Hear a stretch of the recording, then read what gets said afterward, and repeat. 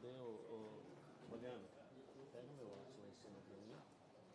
E cadê a lista de convidados? Está aqui? Isso. Todos que estão ok chegaram e registrar essa presença. Tá.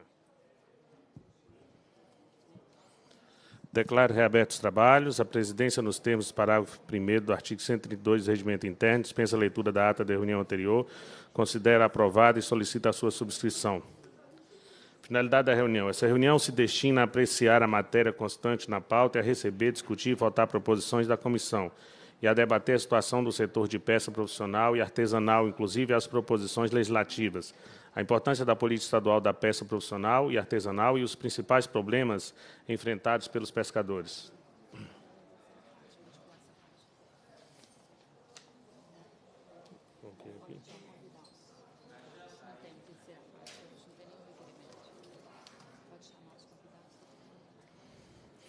Convido a fazer parte da nossa mesa Sônia Cordebelli, diretora de proteção à fauna do IEF. Valtim Quintino da Rocha, presidente da Federação dos Pescadores Três Marias.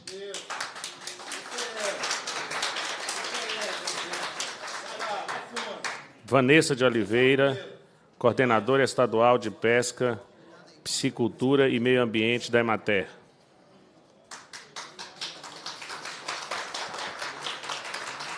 Sandra Mara Fonseca, presidente da Colônia dos Pescadores Z17 Lavras, isso mesmo?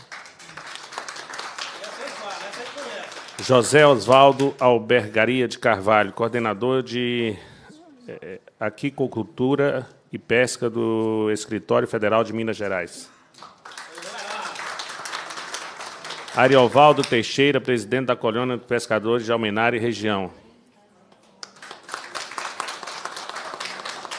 Maurício Martins, secretário de Agricultura e Pesca da Prefeitura de Santa Vitória. Gostaria de registrar a presença de Tuco Campos, assessor parlamentar do deputado federal Rodrigo Pacheco.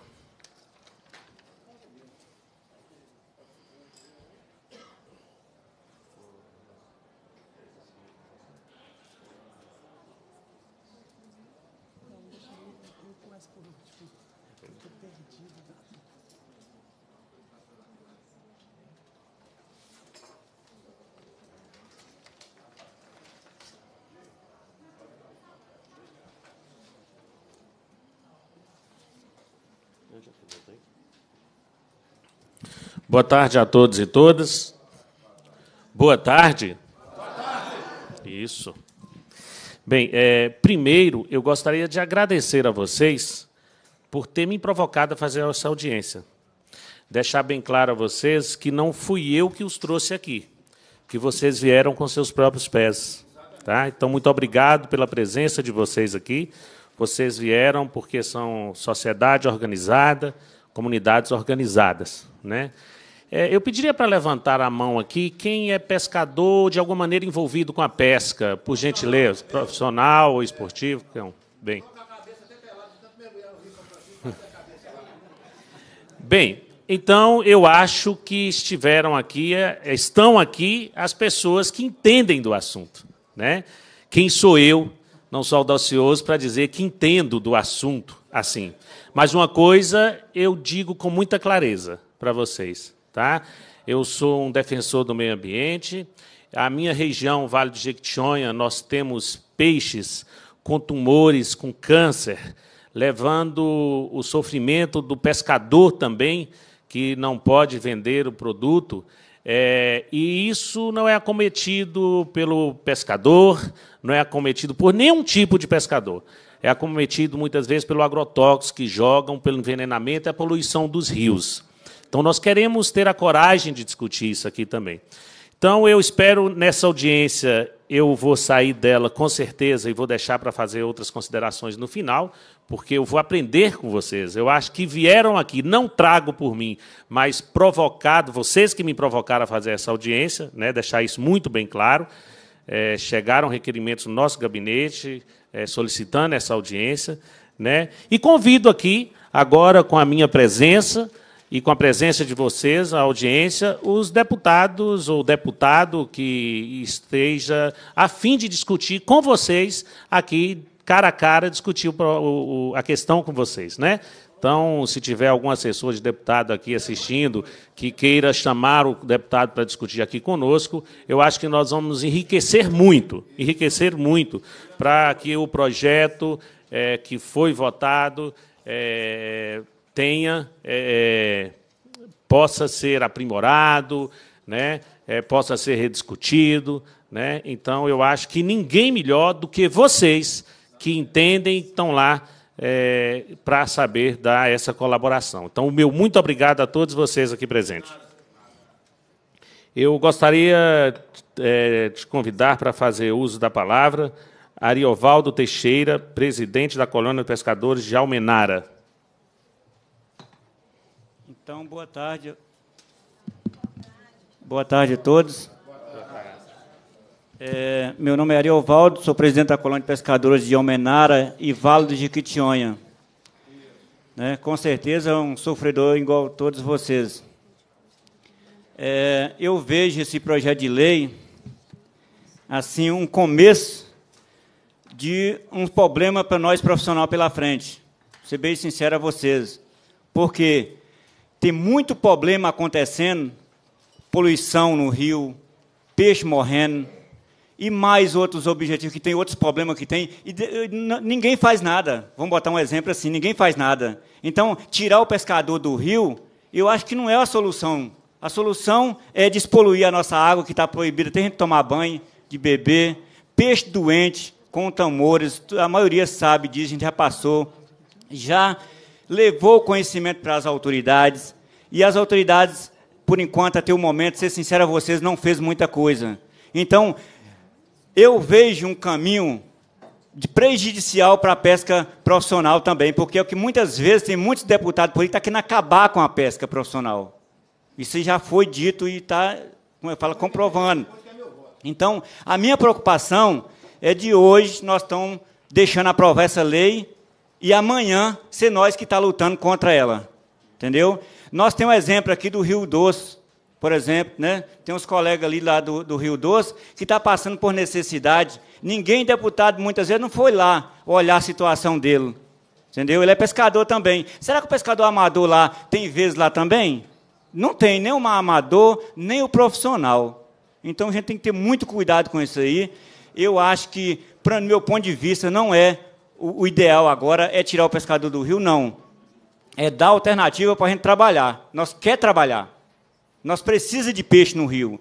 Mas para ter peixe no rio, nós temos que ter água boa, água despoluída. Depois das barragens, das construções das barragens para cá, barragem estourada, igual já estourou e prejudicou todo mundo. O Vale do Jequitinhonha, em peso, gente, está passando por necessidade. Tem pescador passando fome. É poucas pessoas que vai lá olhar essa situação. Vai tirar nós lá do rio?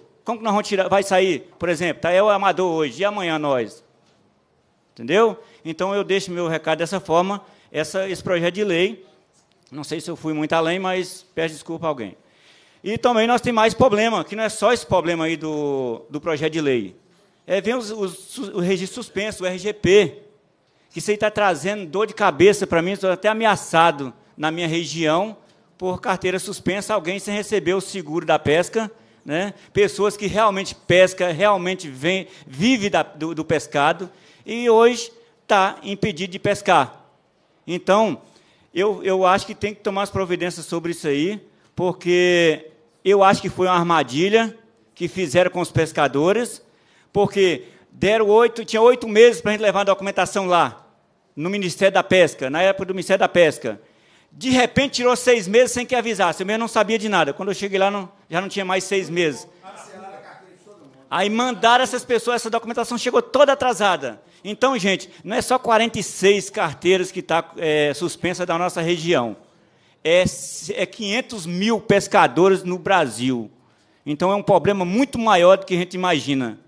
Entendeu? E nós temos que lutar contra isso, fazer protesto, partir para cima mesmo, porque senão não vai resolver a situação. Eu acho que o Ministério da Pesca, na época, trouxe muito problema, programa não funcionava, ficar 15 dias sem funcionar, o pescador perdeu a carteira por esse motivo.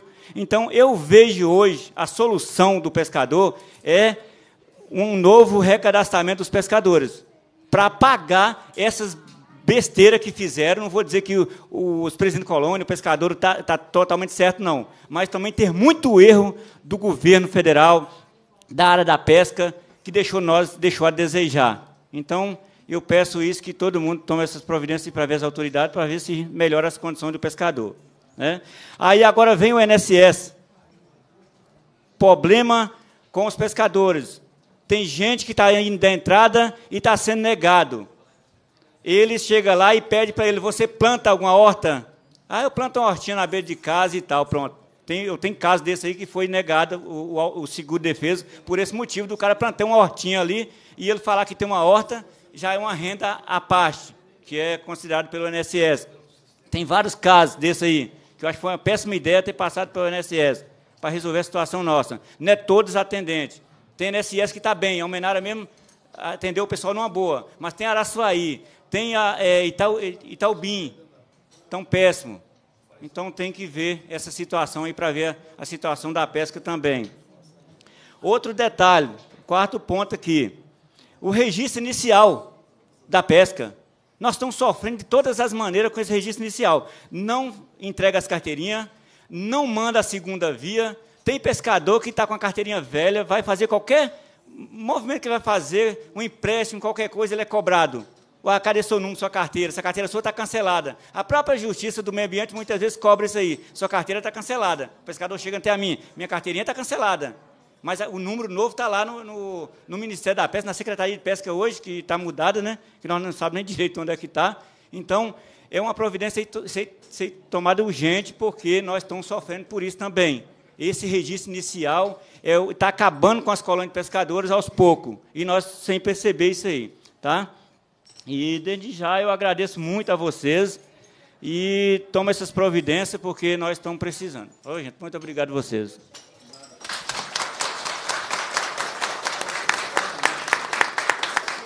Muito obrigado, Leovaldo. Passo a fala agora a José Osvaldo, coordenador de Agricultura e Pesca do Estado Federal de Minas Gerais. Boa tarde a todos. Eu venho aqui a, a essa comissão para conversar com vocês, ouvir de vocês, principalmente ouvir, porque os problemas vocês todos já conhecem, não preciso contar para vocês quais são. Tá certo? O problema da, do, do, sistema do CIS e RGP, que foi citado agora, é uma coisa que vem se desenrolando desde três anos para cá. Tá certo? Problema de manutenção fora de prazo, de mudança de prazo de manutenção, nós já herdamos isso, eu estou lá um ano e meio, mais ou menos, e nós já herdamos isso problemático desde a da, da gestão passada, que também não foi culpa dela, isso é tudo questão de legislação. O que acontece é o seguinte: o que eu posso afirmar para vocês é que o governo federal tem o maior interesse em regularizar a situação da pesca profissional pesca profissional artesanal. Concordo plenamente com o colega presidente de Colônia que deve haver um recadastramento geral, porque de 2012, 2003 para cá, aumentou em, em mais de 5 mil vezes, vezes o número de pescadores profissionais. Quer dizer, tem muita gente que não é pescador e está atrapalhando quem realmente é pescador para receber o benefício, para receber. Vocês, vocês, eu preciso explicar isso para vocês, vocês sabem qual é o problema. E isso prejudica quem realmente é um pescador profissional, vive da pesca. Então, todas as benesses são divididas por mil, em vez de ir para quem merece. Acontece que, nessa reviravolta política que nós estamos vivendo, a Secretaria Especial da Pesca já pulou, saiu do Ministério da Agricultura, foi para o Ministério da Indústria e Comércio Exterior, onde nós estamos ultimamente, e por um decreto publicado no mês passado, quer dizer, perdão, em outubro, nós seríamos transferidos novamente para a Presidência da República, é, voltando a ser a SEAP, Secretaria Especial de Aquicultura e Pesca. Mas isso não está confirmado.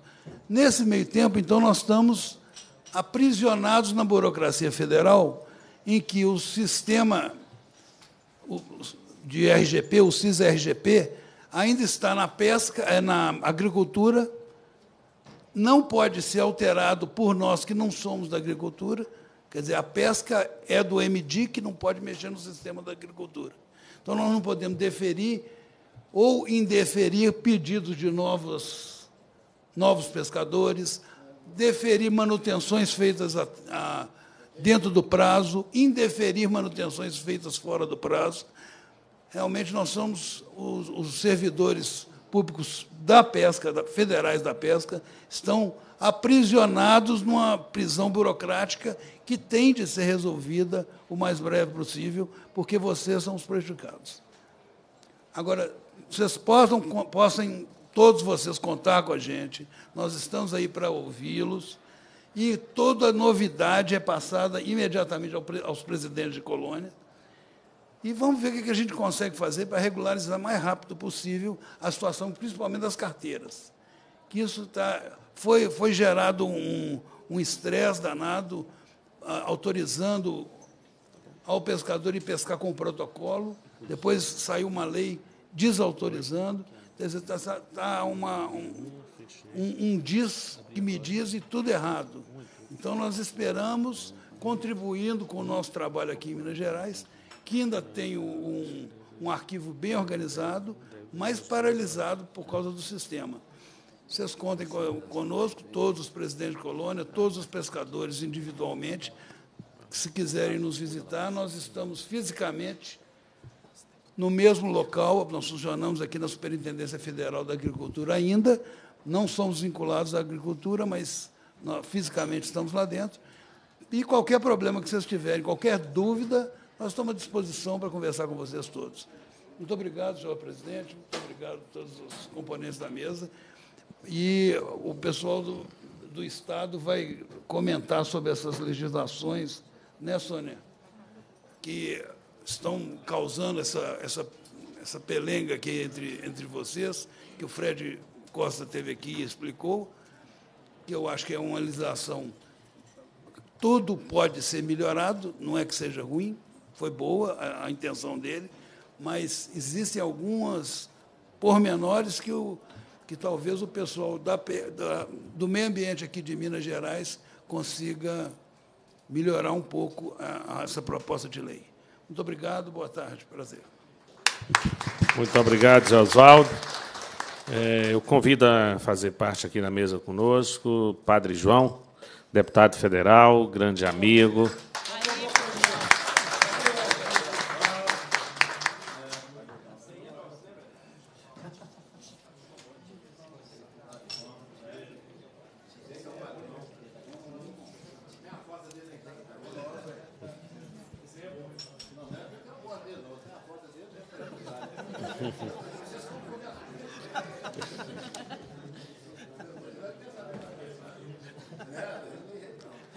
passo a fala agora a Sandra Mara Fonseca, presidente da Colônia de Pescadores Z17 Lavras. Boa tarde a todos. Boa tarde a todos que estamos aqui nessa mesa, nesse plenário. Em primeiro lugar, eu quero parabenizar essa oportunidade nessa audiência pública. Por quê, deputado? Porque neste momento nós podemos explicar as nossas necessidades que cada colônia que está passando nesse, nesse estado de Minas Gerais. Bom, o primeiro assunto que eu quero falar é sobre qualquer pessoa pode tirar carteira. É, tem pessoas que não vivem da pesca, são pescadores amadores, e essas pessoas vão lá, tirem a sua carteira mera para pescar fim de semana ou nas suas férias. E quando os pescadores profissionais, aquele que vive da pesca, aquele que quase todos os dias ou até todos os dias estão lá, depara com a, a rede, com as placas e com aquela pessoa. Nós sabemos que não pode colocar redes pareadas uma outra, outras ou outro tipo de leis que nós temos, que não é o caso. Então eu acho que no momento qualquer pessoa tirar carteira de pesca, a não ser aquele que realmente vai viver da pesca, eu acho que isso está deixando a desejar nós profissionais que vivemos da pesca. E o outro assunto também é sobre o seguro defeso. Tem pescadores profissionais, que já foi falado, mas não estou aqui repetindo o que o meu colega aqui falou, não. Tem pescadores profissionais que não estão recebendo seguro defeso. E tem pessoas que não vivem da pesca que estão recebendo seguro defeso. Aí você vai dizer, ah, mas se não vive da pesca, então por que você não toma atitude? Nós, presidente de colônia, não podemos tomar nenhum tipo de atitude. É a lei que tem que fazer no qual isso possa ser exigido. Há outro assunto que é muito importante, é sobre é, a defesa da fauna e da flora, que a minha colega Sônia, diretora aqui do EF, está conosco. É, como vai defender a fauna e a flora? O pescador profissional ele está todos os dias no meio do rio ou da represa. Tem pescadores profissionais, não só da minha colônia, mas de outras colônias, que eles até catam lixo de pescadores amadores que deixam lá à beira, que eles vão pescam ali, além de pegar peixe inadequado, fora de tabela, porque eu mesmo já peguei, eu mesmo já peguei e denunciei ali, um embornar cheinho de peixe pequeno. amador tem a carteirinha, pescando, e também deixando lixo ali na beira. Então, quando nós, pescadores, vamos recolher lixo é, da beira do rio, nós também estamos o quê? Preservando o meio ambiente para que o nosso futuro seja feito. Por quê? Porque isso, como que o peixe vai ali pro, é, é, é, é como que eu falo? É, é procriar ali naquele momento sendo que do jeito que estão tá os rios. Então, pescadores profissionais não é aquele que detona os rios. Agora, um assunto muito grande, e eu quero colocar isso em pauta, não só para Belo Horizonte, ou toda a Assembleia, os pescadores, ou até mesmo vocês, deputados e todos aqui na mesa. A usina do funil, o deputado Padre João está comigo lá. A usina do funil, do funil ela está sendo uma depredação total dos pescados, dos peixes, atinge a fauna e a flora totalmente. Eu tenho filmagens lá de, de, de máquinas deteriorando a, a beira do rio. Eu tenho filmagens de toneladas de pescado. O ano passado, tenho quatro mortandagens absurdas que já teve na usina do funil. São seis toneladas que esteve de mortandade enterrando clandestinamente. É porque tenho pessoas lá que me mostram o que está acontecendo, sabe? Porque se não tiver denúncia, como nós vamos saber? De madrugada enterrando peixes que morrem. Nós, estamos, nós já fomos lá. A luta que nós estamos tendo com o diretor da usina do funil é muito grande. Já cheguei até a ser ameaçada de morte, porque se eu dar continuidade, botou o dedo na minha cara. Eu simplesmente falei para ele: eu só estou acendendo um pequeno pavio. Por quê? Porque se eu deixar essas mortandades, ou se ninguém lutar por essas mortandades que está tendo lá, ela vai continuar. Mas qual é a, a depredação maior? A mortandade anual de 6 ou 8 toneladas de pescado ou os pescadores? E, e, sabe qual é? Sabe qual época? A época da piracema. Quando chegam, quando chegam dessa forma a acontecer lá, o que, o que acontece? Isso está deixando a desejar, porque o peixe, o peixe, quando ele depara lá no paredão, ele não tem aonde mais continuar. Então, o acúmulo enorme de peixe lá, enorme. Eu tenho filmagens sobre isso. Ele chega a perder oxigênio. Quando entra no elevador, entra com quantidade enorme, não consegue subir. A luta que nós estamos tendo que eu já falei com Paulo Pompeu, é para quê? Fazer uma escada para subir do peixe, para dar continuidade, porque aquela usina, ela fechou, ela bloqueou tanto a qualidade do Rio Grande quanto a represa. Não tem como subir peixe para desovar ou até mesmo para a criação de procriar. Então, é, é uma, no, nossa, não sobe. A nossa não sofre porque o elevador, o acúmulo de pescado, todos que vêm da usina de Furnas, está o Evaldo aqui, né, Evaldo? O Evaldo, o Evaldo da usina de Furnas, né, Evaldo? Do pescador da colônia 16. O que, que acontece de formiga? O que acontece? Todo peixe que vai, que passa por lá, ele chega até o Rio Grande e acumula ali. Então, dessa forma, nós não sabemos, deputado, como que vai ser feito. Porque a luta de um peixinho não adianta. Mas dos outros peixes maiores, que a lei vem de vocês, tem condição de resolver esse problema lá. Está sendo muito sério esse problema lá. Então eu quero pedir, em nome dos pescadores da minha colônia, da colônia de Formiga, da colônia de Alfenas e de todas as colônias daqui do estado de Minas Gerais, vamos resolver essa situação das usinas hidrelétricas. A situação das mortandades das usinas hidrelétricas está sendo muito grande. E outra coisa que eu quero falar é sobre o registro geral da pesca. Já foi falado aqui com, com o nosso secretário do, da, da, da Agricultura. Eu sei que essa audiência pública, como foi falado aqui anteriormente, desse de outro deputado, que eu não me recordo o nome, mas vamos lutar mais pelos pescadores profissionais. O pescador profissional, ele vive da pesca, ele vive, ele não é um lazer, ele não é simplesmente uma pessoa que vai pescar por livre espontânea vontade para fazer de conta, não. Ele sustenta a sua família, ele também, ele coloca nas, nas peixarias também um pescado que onde você também come, todos nós comemos. Então vamos regularizar essa situação.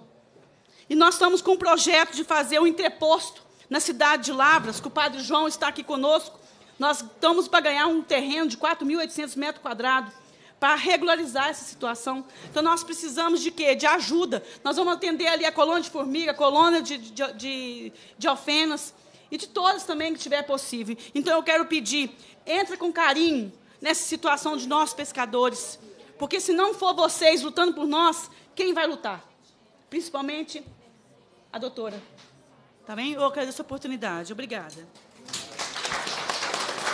Muito obrigado, Sandra.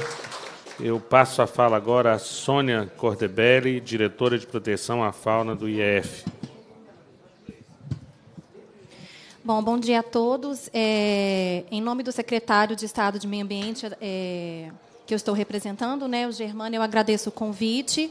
É, e agradeço a participação de todos vocês também, porque na verdade é, esses debates eles são importantes porque nós que trabalhamos, né, no, na, eu sou do Instituto Estadual de Florestas, que a gente trabalha com conservação de biodiversidade, é, a gente trabalha numa seara bastante delicada, né, porque às vezes a medida de conservação ela traz uma sensação de prejuízo né, à atividade do, do pescador profissional.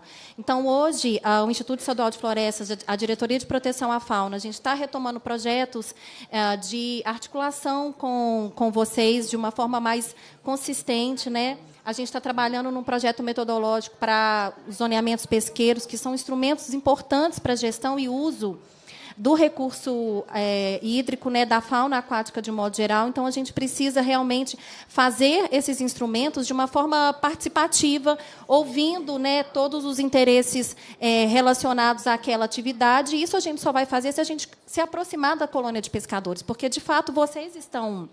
É, com uma capilaridade em todos os trechos, em todos os, os córregos, em todas as bacias, que o, que o governo público, né, que o poder público não está. Então, a gente trabalhar com conservação, a gente precisa ouvir vocês, porque vocês é que estão lá. A Sandra colocou muito bem, a gente não consegue acompanhar todas as demandas. Então, é, é um intuito do, do, do, do nossa, da nossa gestão, da nossa atividade, a gente trazer essa conversa, aproximar de vocês de uma forma mais eficiente, porque de modo geral a gente nós não somos é, inimigos, né? A, o, o, nosso intuito é o mesmo, né? Porque se a gente não, não trabalhar com conservação, vocês não vão ter peixe, vocês não vão ter o, o, o, o, modo de vida de vocês, né? o trabalho de vocês. Então, a gente tem que quebrar esse paradigma de que somos opositores, de que somos é, divergentes. Às vezes, as ações são, são, são diferentes, são distintas, mas a gente precisa abrir o diálogo, sentar, conversar, e, e isso é um esforço que a gente vai começar a fazer a partir do ano que vem. A gente já está se estruturando para isso. O IEP já é uma estrutura bastante regionalizada, a gente tem os nossos escritórios regionais, e a gente está está articulando isso com a nossa equipe do interior, então vocês podem se sentir confortáveis e à vontade de procurar a nossa equipe lá, de colocar para eles um, uma, uma temática, um ponto que a gente talvez não consiga dar o retorno na hora, mas uh, eu, eu, dou a garantia para vocês de que os assuntos são discutidos e com uh, bastante cautela, porque a gente sabe o impacto que qualquer medida que a gente faça de conservação tem sobre a atividade de vocês e sobre a, a renda, sobre a, a, vida, né, o cotidiano de vocês. Então, essa garantia é, a gente dá para vocês e que isso vai se concretizar pelos próximos anos. Com relação à atividade profissional, a, o IF, de fato, não tem muita ação direta, né, porque isso é uma, uma ação do governo federal, mas a gente tem uma articulação bastante próxima com a, o Zé Osvaldo, o Instituto Estadual trabalha em articulação, então é, a gente senta né, e discute as medidas é, conjuntamente. Agora, só a, a título de informação, é, e aí o deputado pode me fazer até um esclarecimento. Eu estou entendendo a discussão está girando também em torno do projeto de lei 483, né, do deputado Fred Costa. Sim, mas não simplesmente, né? Como eu acho que é, é eu estou gostando, inclusive, das colocações, porque é, pelo que foi passado aqui por vocês, nós tínhamos vindo aqui discutir essa questão e não foi. Foi bem mais ampla bem mais do que essa questão, muito uhum. além disso, né? e, e partir da, é, e veio a partir dos próprios pescadores. Sim. E aí só uh, esse projeto a gente também está acompanhando. Nós vamos tentar uma reunião com o deputado Fred Costa agora para a gente entender um pouco melhor. Mas uh, só eu não sei, eu não estava aqui na fala dele anterior, mas ao que me parece o projeto de lei altera com relação à cota para o pescador amador. Ele traz um limite de na, no texto ah, que justifica a elaboração desse projeto de lei, ele menciona todas as outras categorias na justificativa. Mas no teor do, do projeto em si, quando a gente analisa, ele faz menção apenas à pesca amadora. Ele altera a descrição da pesca amadora e estabelece uma cota para ela de zero, que é a não poder transportar o pescado fora do local onde ele foi capturado. Né? Não faz nenhuma menção à quantidade de peixe pescado. Então, se o pescador amador conseguir pescar, vamos pensar aqui em 100 quilos, a priori ele poderia consumir esses 100 quilos no local da sua, da sua atividade. Então, é isso que o projeto de lei traz. A gente vai conversar com ele para a gente também esclarecer, propor algumas sugestões, porque, do ponto de vista do meio ambiente, a gente também não traz, eh, o PL não traz diferenciação para a espécie exótica a bacia, né? E aí a gente fala do tucunaré. Embora a gente saiba que algumas espécies têm interesse comercial para a pesca profissional, mas do ponto de vista de conservação são espécies que a gente tem que ter um, um, um cuidado uh, com relação à sua, à sua captura, né? A gente não tem que restringir a captura dessas espécies, né? Porque elas competem com as nossas espécies nativas, são predadores de algumas espécies nativas e então o, É. No Rio Doce, né? É. Esses dois eu tô, mas eu acho que teve um do. É. é e, e, na verdade, assim, a. É. A situação ela está complicada. A Sandra colocou muito bem. A gente tem que trabalhar a qualidade do rio, né? A gente não pode trabalhar a, o peixe Por gentileza, vamos escutar a é. doutora. É, a Sandra colocou muito, muito pertinente, porque, na verdade, a gente não tem que trabalhar o peixe desassociado do ambiente que ele está. Né? Então, a gente tem que trabalhar com recuperação de área degradada, com recuperação de APPs, com melhoria da qualidade do rio. Né? Então, a gente precisa trabalhar com uma visão muito mais macro, e eu entendo que... E trabalhar conscientização, né? capacitação do, do Sim, é, os impactos são diversos. E a gente precisa trabalhar com conscientização, né? porque, na verdade, não é uma lei que vai fazer que aquele rio seja recuperado ou não. Não é estabelecendo cota zero ou estabelecendo qualquer outra medida se a gente não tiver conscientização, porque a fiscalização não consegue estar em todo o braço do rio. Então, vocês precisam ter consciência de quando a gente faz uma restrição de um petrecho, uma restrição de um período de defeso, aquilo não é aleatório. Aquilo é porque a gente precisa daquele momento da recuperação, da repovoação dos rios das espécies nativas. Então, precisa muito muito mais conscientização de não usar o petrecho proibido, de não pescar no trecho. Né? Isso vai além de, de qualquer legislação. Né? Isso é uma conscientização do cidadão, que é o que a gente precisa avançar. Né? Vocês precisam ter consciência que vocês são parte desse sistema e que, se vocês não contribuírem e não forem parceiros, a gente a gente não vai conseguir avançar. Né? Não adianta nós, do Instituto Estadual de Florestas, pensarmos em legislação, em protocolos, em medidas de conservação, se a gente não tiver a contrapartida do pescador, tanto o, o amador quanto o profissional. Né? A gente precisa trabalhar com essa visão ampla, que todos nós somos parte do problema e que depende da gente também alguma medida de conservação. Então, eu deixo aqui já o Instituto Estadual de Florestas, o próprio a Secretaria de Meio Ambiente à disposição de vocês, através das nossas unidades regionais, precisando é, levar uma temática para discussão, a gente está inteiramente à disposição e é realmente o nosso interesse aproximar nessas discussões e que a gente consiga avançar é, para a conservação da biodiversidade, que é o que todo mundo quer, na verdade, né? E é isso. Muito obrigada.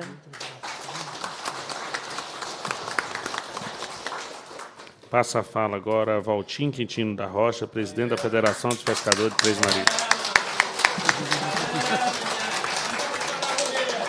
Gente, boa tarde a todos. Boa tarde, meus companheiros pescadores que estão aqui hoje com uma grande esperança de sair daqui com uma boa notícia, né? Quero cumprimentar a mesa, o nosso presidente da mesa, nosso companheiro Jean.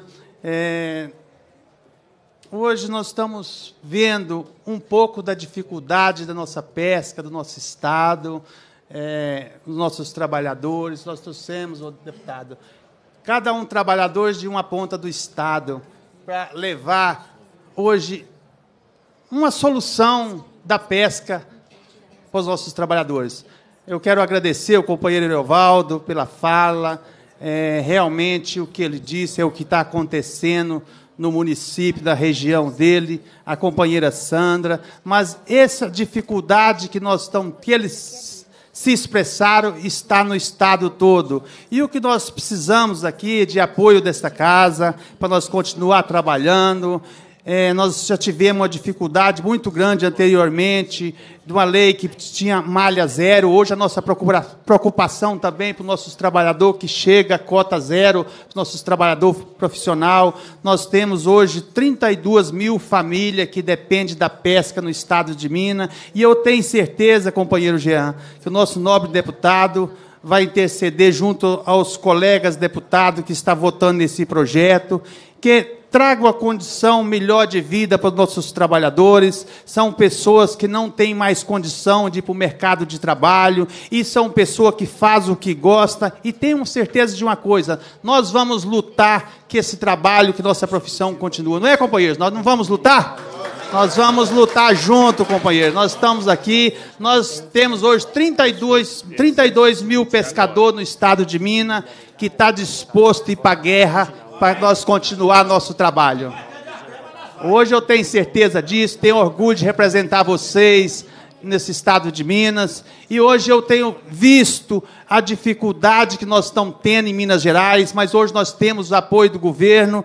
Fiquei muito contente com a fala da nossa companheira aqui do, do IEF, do Instituto Estadual de Floresta, que anteriormente nós não ouvia isso do lado do governo.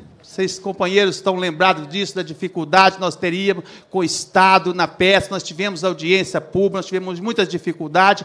E eu tenho certeza que essa Assembleia Legislativa, com os nossos companheiros deputados, vai nos ajudar, que nós vamos continuar nosso trabalho, que os pescadores têm alegria de dizer que é pescador no Estado de Minas Gerais. O nosso companheiro, do, do, do José Oswaldo, fez uma explanação dizendo das dificuldades que está tendo o governo federal, mas infelizmente, companheiro Zé Oswaldo, eu sou diretor da Confederação Nacional, a dificuldade maior que nós estamos tendo é em Minas Gerais. Infelizmente, as superintendências de Minas está trabalhando contra o pescador. Vossa Excelência chegou há poucos dias. Nós temos uma dificuldade muito grande com Minas Gerais. É, nós queremos que Vossa Excelência mude esse conceito de trabalhar com o pescador. Nós temos muito pescador com a carteira cancelada de incompetência da superintendência da pesca. É ou não é, companheiros? É. Isso, ó, o pescador fez a manutenção na data certa, que infelizmente o documento não chegou e a carteira está suspensa. Infelizmente é incompetência do, do servidor da Superintendência de Minas Gerais. Você só tem isso em Minas Gerais, companheiro. Eu sei que Vossa Excelência chegou agora, você é uma pessoa de bem, de bom coração, que vai rever isso para nós, essa situação. Nós temos trabalhador que fez a manutenção na época certa, nós temos aqui mil colônias de mil quilômetros de distância até chegar na superintendência. Ele chegou no último dia para fazer a manutenção manutenção, até que esse documento que chegou aqui, ó, já foi suspensa a carteira dele. São pai de família, pessoa que vive da pesca, hoje está numa situação difícil. E nós vamos para a guerra contra isso também. Não vamos, companheiros? É isso que nós precisamos.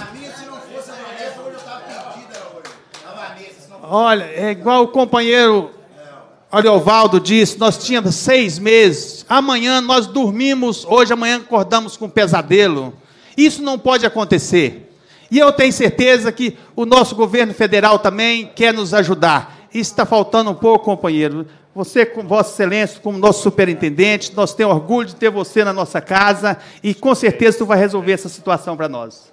Talvez Vossa Senhoria nem está a parte disso que está acontecendo, mas nós precisamos de melhorar muito isso aí, nós precisamos de trabalhar junto. Eu quero dizer para você que somos seu parceiro, não seu adversário.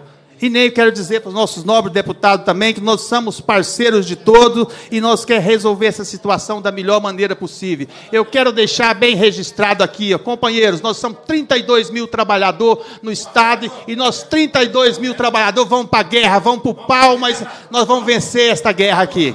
Não é isso, companheiros? Nós estamos aí e nós vamos lutar por isso.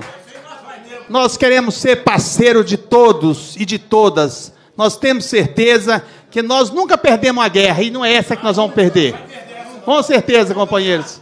E nós precisamos muito de apoio dessa casa. Nós não queremos que essa casa traga uma guerra para a pesca em Minas Gerais. Tá bom, companheiros? É esse o nosso trabalho, é esse nós vamos lutar para isso. Nós precisamos do apoio dos nossos nobres deputados.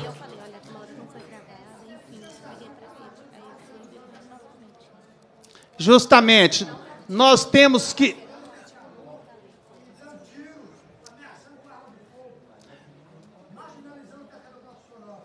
É isso, meu nobre deputado. Eu gostaria que o nosso presidente Jean aqui desse oportunidade. Eu tenho mais presidente de colônia aqui hoje, que, que desse oportunidade para falar. Alguns pescadores quisessem falar, hoje o companheiro Norberto, mas alguns pescadores quisessem falar. Eu gostaria que ficasse registrado a nossa indignação do, dos fatos que está acontecendo na pesca hoje tanto nível estadual como nível federal. Nós temos que melhorar, tem o nosso apoio, nós somos maior, maiores defensores da pesca do Estado, são nós, pescadores, nós vivos da pesca. Muito obrigado a todos por esta oportunidade.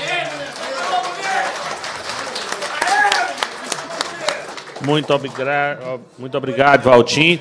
E dizer a vocês que a oportunidade será dada. A nossa assessoria vai percorrer aí para que vocês escrevam, aqueles que queiram fazer uso da palavra. Vocês vieram aqui para ser ouvidos e serão ouvidos. Nós não temos prazo para terminar, tá? Vai ser quem quiser falar no final aqui que a mesa fizer sua exposição inicial, vai ser aberto ali para vocês darem a sua colaboração. Eu passo agora a fala a Maurício Martins Lorena Filho, secretário de Agricultura e Pesca da Prefeitura de Santa Vitória. Primeiramente, boa tarde a todos, companheiros e companheiros pescadores. Gostaria também de cumprimentar o pessoal aqui da mesa, o presidente da, da comissão aqui, da audiência, deputado Jean Carlos. Gostaria também de cumprimentar o nosso ilute, deputado federal Padre João, o qual nos recebeu em Brasília, no seu gabinete, numa visita nossa, numa agenda positiva, muito cordialmente, apoiando a questão da agricultura familiar e dos pescadores. Gostaria também de cumprimentar o presidente da colônia, Ariasvaldo Teixeira, e em nome de todas as mulheres aqui presentes também, nessa audiência, gostaria de cumprimentar a presidente da colônia de Lavras, Sandra Maria Fonseca. Gostaria também de cumprimentar o nosso José Oswaldo, coordenador do Estoque Federal de Minas Gerais. Gostaria também de cumprimentar a diretora de proteção de fauna do, do IEF, a Sônia Cordelli, o Valtim, presidente da Confederação dos Pescadores Artesanais, Gostaria também de cumprimentar a Vanessa Galderedo, que é uma, um apoio que a gente tem no, na Emater, da questão da, do fomento da pesca. Gostaria também de cumprimentar meus companheiros de viagem, que a gente para estar aqui nessa audiência. Santa Vitória é um município que está a mais de 800 quilômetros de BH. Gostaria de cumprimentar o vereador e presidente da colônia de Chaveslândia, Z08, do distrito, o Elton, o seu colaborador Miranda, o meu companheiro de secretaria Mariuzan e o nosso motorista Ronaldo. E assim, gente, eu vejo muito importante a questão do debate, da gente sentar e dialogar. Por quê? Só um, ser muito breve aqui, porque todo mundo tem muitas coisas para falar, mas eu nasci e convivo com as duas realidades, que é dos pescadores artesanais que vivem da pesca e da pesca esportiva, que são o pessoal que é o que fomenta também a economia. Eu vejo o seguinte, que a gente tem que entrar num consenso, porque todos os pescadores, tanto os profissionais como os esportivos, eles cuidam da água. Eles são o principal fiscalizador das nossas águas. Vocês que estão dia a dia tirando o seu sustento da sua família, e aqueles também pescadores que vão lá, é, que é uma paixão, que a pesca esportiva é uma paixão.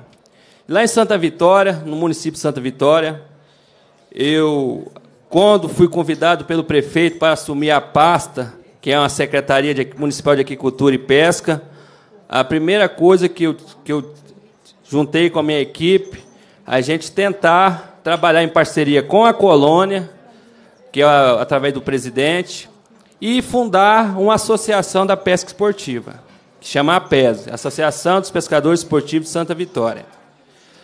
Eu vejo que os dois lados, tanto os pescadores profissionais que vivem da pesca, que estão lá dia a dia, tirando seu sustento da sua família, o pão nosso cada dia, que é um direito que está na Constituição, do trabalho, o direito ao trabalho e o lazer também, que é o direito do, do, do pescador esportivo pegar o peixe, tirar sua foto e soltar.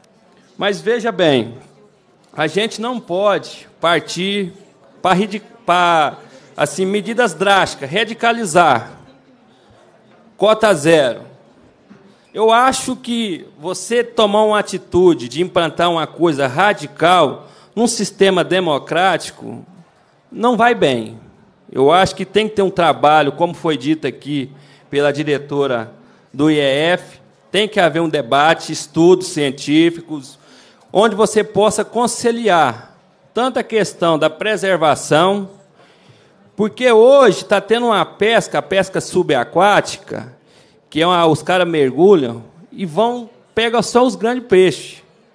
Entendeu? Lá no nosso município, eles estão devastando as matrizes dos grandes peixes, tanto é, pintado, tucunaré grande, carpa, porque os caras mergulham no arpão e pegam, só vai nos grandes, porque os pequenos, eles não querem.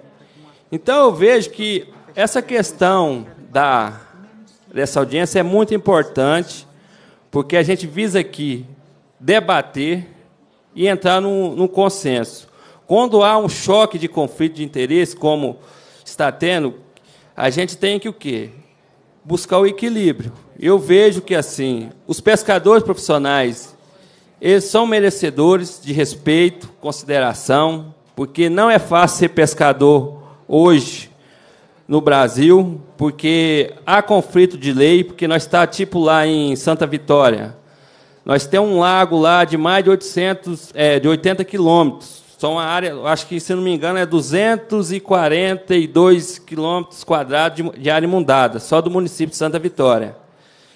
E lá há um conflito legislativo entre a legislação do Goiás com a mineira, que às vezes enquadra os pescadores profissionais, que são fiscalizados pela polícia goiana, sendo que estão dentro da normativa mineira.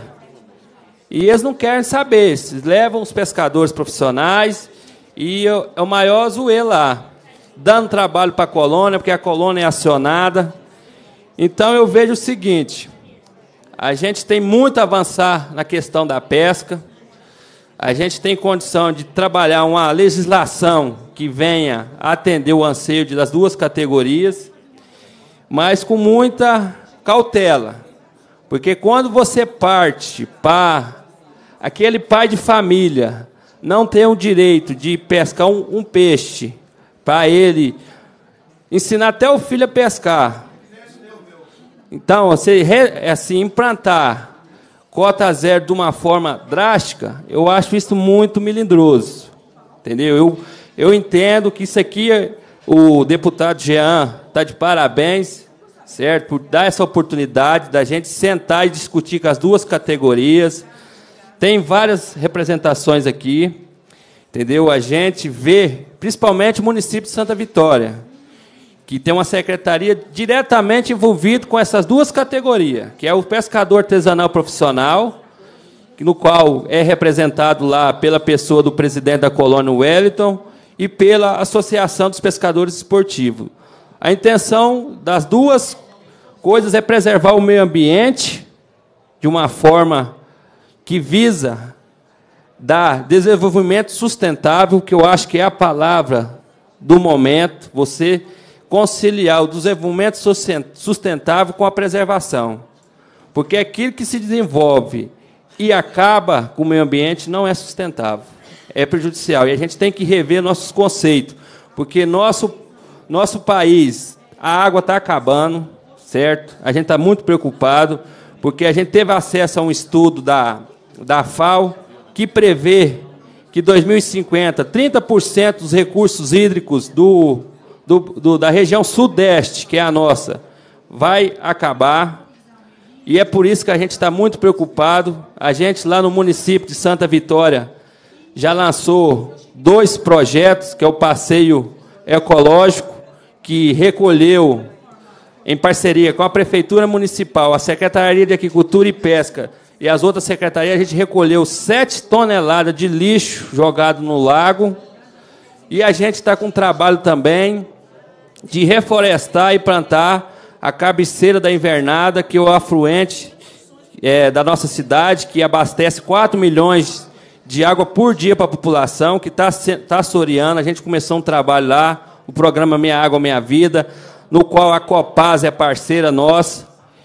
E a gente vem aqui com esse intuito de trazer para o debate essas, essas questões, de a gente estar tá entrando num equilíbrio para que a gente possa, juntamente com a pesca esportiva e com os pescadores profissionais, cuidar da nossa água. Eu acho que aqui a gente tem que abraçar a questão de cuidar da água, dos peixes, porque as coisas são em comum. Tanto a água como o peixe são em comum de todos. Então eu vejo que a gente tem muito a avançar, muito mesmo. E assim, é por isso que, é, que no direito quando eles falam que é o choque de conflitos, a gente tem o quê? O princípio basilar da, da, da Constituição, o princípio da dignidade humana. Tanto os pescadores têm direito, como os pescadores esportivos. E toda a sociedade tem direito à água, ao peixe. Então, assim, eu quero deixar essa mensagem aqui para todos e dizer para vocês que a gente está empenhado em estar tá atuando ao lado de todos, tanto na pesca esportiva como na pesca artesanal, que é o, o pescador que está sol a sol, que está dia a dia no lago e no rio. Então é isso, eu quero cumprimentar mais uma vez o presidente, é, Jean Carlos, o deputado federal Padre João, que tem o nosso profundo respeito e e consideração, e a companheira Vanessa também, que sempre nos atende aqui nas demandas dos projetos de aquicultura e pesca município de Santa Vitória. Muito obrigado a todos e tenham uma boa tarde. Muito obrigado, Maurício. Eu passo agora a fala a Vanessa de Oliveira, coordenadora estadual de Pesca, Piscicultura e Meio Ambiente da Emater.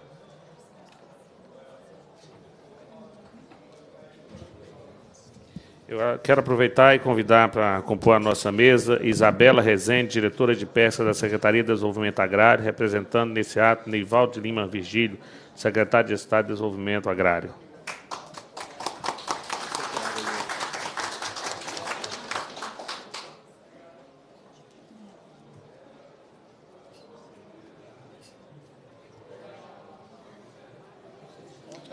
Boa tarde a todas e todos. Bom, a gente trouxe uma apresentação, aguardando, mas gostaria de parabenizar a iniciativa do deputado estadual, doutor Jean, que sabe o que essa categoria passa, né, principalmente ali na região é, do, do, Vale do Jequitinhonha. A gente tem problemas imensos lá, e o companheiro Ariovaldo está aí. É, em nome do doutor Jean, cumprimento toda a casa, é, todos os presentes. Em nome do Valtim Quintino, presidente da federação, cumprimento os pescadores profissionais, artesanais do Estado e cumprimento também aqui representando os pescadores esportivos. Trouxe até um documento aqui também de um presidente da associação. Bom, deixa eu ver. Não está. Não está passando. Liguei. Eu vou passando de lá. Você vai falando passando? papo, eu vou te Ok. perguntar. Deu certo, peraí. Não sei como é que tá. Eu vou lá passando. Está como ao contato. Pessoal, em nome do governo do Estado, nosso governador Fernando Pimentel, do presidente da Emater de Minas Gerais, Glenn Mariano, toda a diretoria da Emater e a pedido do nosso presidente, estou aqui para representar, para falar um pouco do trabalho da Emater é, em prol da pesca, em prol da piscicultura, também apoiando a pesca esportiva. A Emater hoje, pode passar, por favor? Ela está presente em mais de 790 cidades do estado de Minas, então contempla quase todo o estado de Minas, deputado, e atende quase 500 mil agricultores familiares, comunidades tradicionais, pescadores, é o nosso público é, alvo, os piscicultores. E qual que é o papel primordial da Emater? como o nosso companheiro Maurício aqui disse, é trazer o desenvolvimento sustentável, Maurício. Esse é o objetivo: trazer melhoria de vida para as populações, inclusão social, desenvolvimento econômico também. E nós sabemos que a pesca profissional e artesanal é, é a garantia de sobrevivência, de renda, e de emprego para mais de 30 mil pescadores profissionais nesse estado. Então, nós temos grande responsabilidade e o governo de Minas não, não está não se omite nessa tarefa de defender esses profissionais e fomentar essa atividade, mas também reconhece que a pesca amadora esportiva traz desenvolvimento econômico para muitos municípios do estado, destacando aqui Santa Vitória.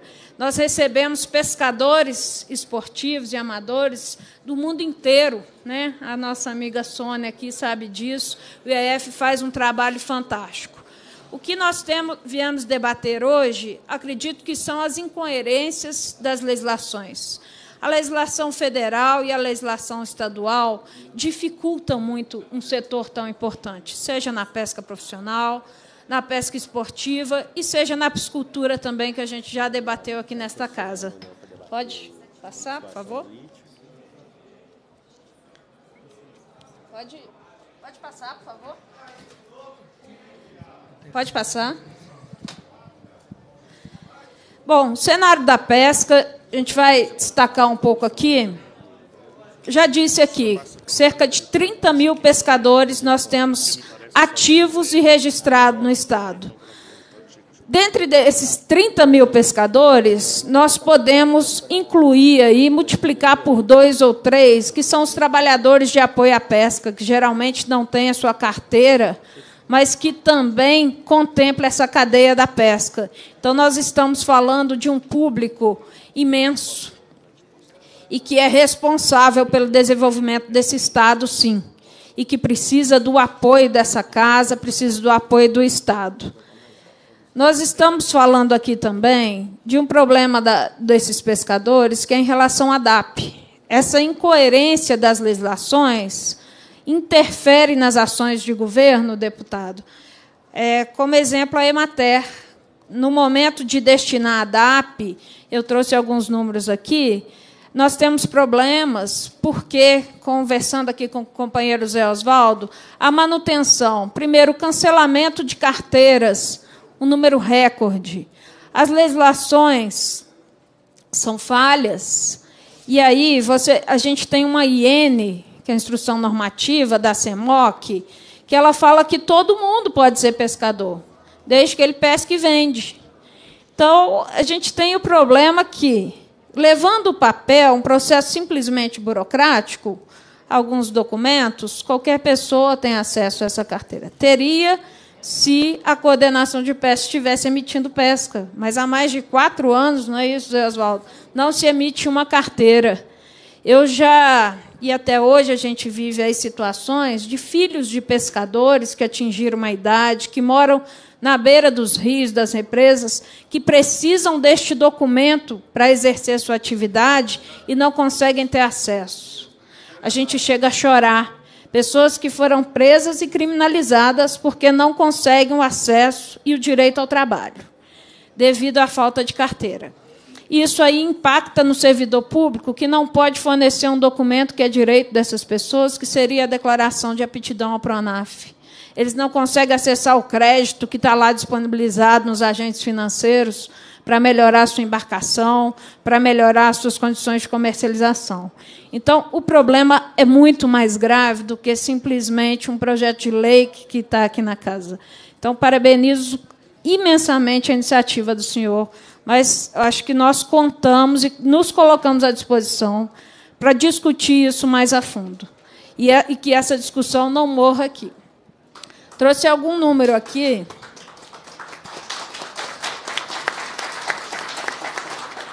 Bom, Minas Gerais, esse é o número em relação à DAP. Se nós temos cerca de 30 mil pescadores ativos né, com a carteira, as DAPs emitidas, esse é um dado oficial do Ministério, chega a 11.553. As ativas, 2.815 é um número, é um grande absurdo, que é uma população que mais necessita deste documento, que tem o direito deste documento, o direito de acessar o crédito e não chega a 1% do total de pescadores o número de DAP ativa. E quando a gente traz isso para o número de crédito acessado, e o Valtim sabe falar muito melhor, não se consegue acessar o crédito devido às burocracias também. Pode passar, por favor. Aqui é um resumo né, do, do, número de DAP aí de pescadores a nível de Brasil e a nível de, de Minas Gerais. Também trouxe para contribuir aí o número da DAP para aquicultura. Também é um número muito maior do que, que o número de pescadores. Pode passar. Pronaf, o número de acesso ao Pronaf da pesca e aquicultura, custeio e investimento, a gente pega um total ali em 2017, 463 pessoas simplesmente acessaram o crédito para custeio investimento. É, um, isso é, a gente traz os dados de pesca e aquicultura. Desse total, a pesca não, não influencia em 5% desse total. Então, nós estamos aqui com um problema muito sério que precisa ser discutido mais a fundo. Pode passar. Aqui a porcentagem, pode passar. Qual, quais os nossos desafios? E nós nos colocamos aqui à disposição para contribuir. Primeiro, a regularização dessa categoria. Esse número de pescador, mais de 5 mil pescadores com carteiras canceladas. Eu tenho convicção que esses pescadores necessitam deste documento e que esse cancelamento não é fruto de erro deles, mas é fruto da falta de iniciativa do governo. E, e aí eu destaco o, o, governo federal com a extinção do Ministério da Pesca. É, o setor foi sucateando, sucateando, e o Zé Oswaldo depois eu acho que pode contribuir aqui no número de servidores que foram caindo, o número de servidores do Ministério, passou para o Ministério da Agricultura, depois foi para o MIDIC e agora está na Secretaria da Presidência. Mas ninguém tem essa informação, não se consegue sequer falar em Brasília, estruturas em todo o estado, fábricas de gelo parada, caminhões sendo tomados. É, a companheira Sandra aqui nos trouxe uma. Né, chega a ser uma denúncia de um caminhão frigorífico que era para servir esses pescadores, deputado, para comercializar, apoiar na comercialização no transporte do pescado, que foram tomados sem nenhuma informação ou conversa e foram recolhidos, sem contar outros caminhões que estão aí. Então, são muitas estruturas paradas. Eu acredito que caminhonete, o Valtinho acabou de lembrar aqui, que foi destinada à colônia Z5 de Três Marias, também que foram recolhidas, e eu acredito que por disputas políticas, não, não sei o motivo a fundo, mas acho que precisa re ser revista. E o setor tanto a pesca profissional quanto a esportiva e os piscicultores, eles precisam ser ouvidos para se propor leis. A fiscalização. Eu trouxe aqui, foi, foi encaminhado a carta do companheiro José Abreu, presidente da Associação de Pesca Esportiva é, de Protetores do Rio Doce, está fazendo um belíssimo trabalho lá no Rio Doce, que pediu para ler uma carta, mas é muito extensa, vou resumi-la que disse: Nós não precisamos de cota zero e nós sequer fomos chamados para discutir. Nós, para a pesca esportiva, nós precisamos discutir a fiscalização, o monitoramento e controle. Nós temos informações aqui que o uso do recurso para monitoramento, controle e fiscalização é, da Secretaria de Pesca, de Aquicultura e Pesca, não foi nada utilizado. Né? O Zé Oswaldo aqui pode até falar disso. Qual a fiscalização do governo federal? Em contrapartida, a Polícia Ambiental também está sem informações. O companheiro Evaldo, lá de Formiga, já nos procurou na Ematé, nos reunimos, da falta de orientação, seja para a categoria, seja para os servidores do próprio Estado. Muitos policiais não sabem sequer a legislação que está em vigor. É, a comercialização é outro problema para o setor, um problema gravíssimo. Sônia, a gente já discutiu sobre isso, né, do IEF, a placa nas redes com essa problemática imensa que, que a gente está vivendo, né, que o pescador não tem sua, seu RGP direito e a placa, muitos roubos também de rede, conflitos. Então, isso precisa. O que o Estado precisa é apoiar essa categoria e discutir é, uma legislação que vai minimizar os conflitos e não potencializar esses conflitos, principalmente entre os dois setores. Acho que pode passar, por favor. Essa portaria 1275, acho que foi, é, foi do dia 26 de 7 de 2017, foi uma coisa, não sei quem conseguiu pensar, que falava que qualquer pessoa que levasse uma, uma documentação na coordenação, recebesse o protocolo, poderia pescar. Isso aí intensificou os conflitos, os problemas, a degradação ambiental de uma certa forma. E aí nós fomos convidadas para uma audiência na Câmara Federal, a convite até do requerimento do deputado federal Padre João. E lá nós reivindicamos, é necessário revogar essa portaria urgente. E no mesmo momento, o servidor do, do Ministério falou: foi revogada hoje, mas nada foi feito para resolver a situação. Então falaram: não pode mais. Enquanto isso, a coordenação de pesca aqui não tem condição de analisar esses documentos, não tem, às vezes, condição nem de alocar esses documentos em espaço suficiente, que a gente conhece muito bem, servidores é, muito comprometidos, mas que também estão perdidos por uma ausência aí do poder público em relação ao setor. A IN6 da CEMOC de 2012 é o maior problema do setor. Eu não tenho é, dúvida sobre isso. Se esta IN não for revista, os conflitos vão perdurar, a, a questão ambiental, os estoques pesqueiros é, foi citado aqui como justificativa para o projeto de lei, uma justificativa para a cota zero é os estoques pesqueiros.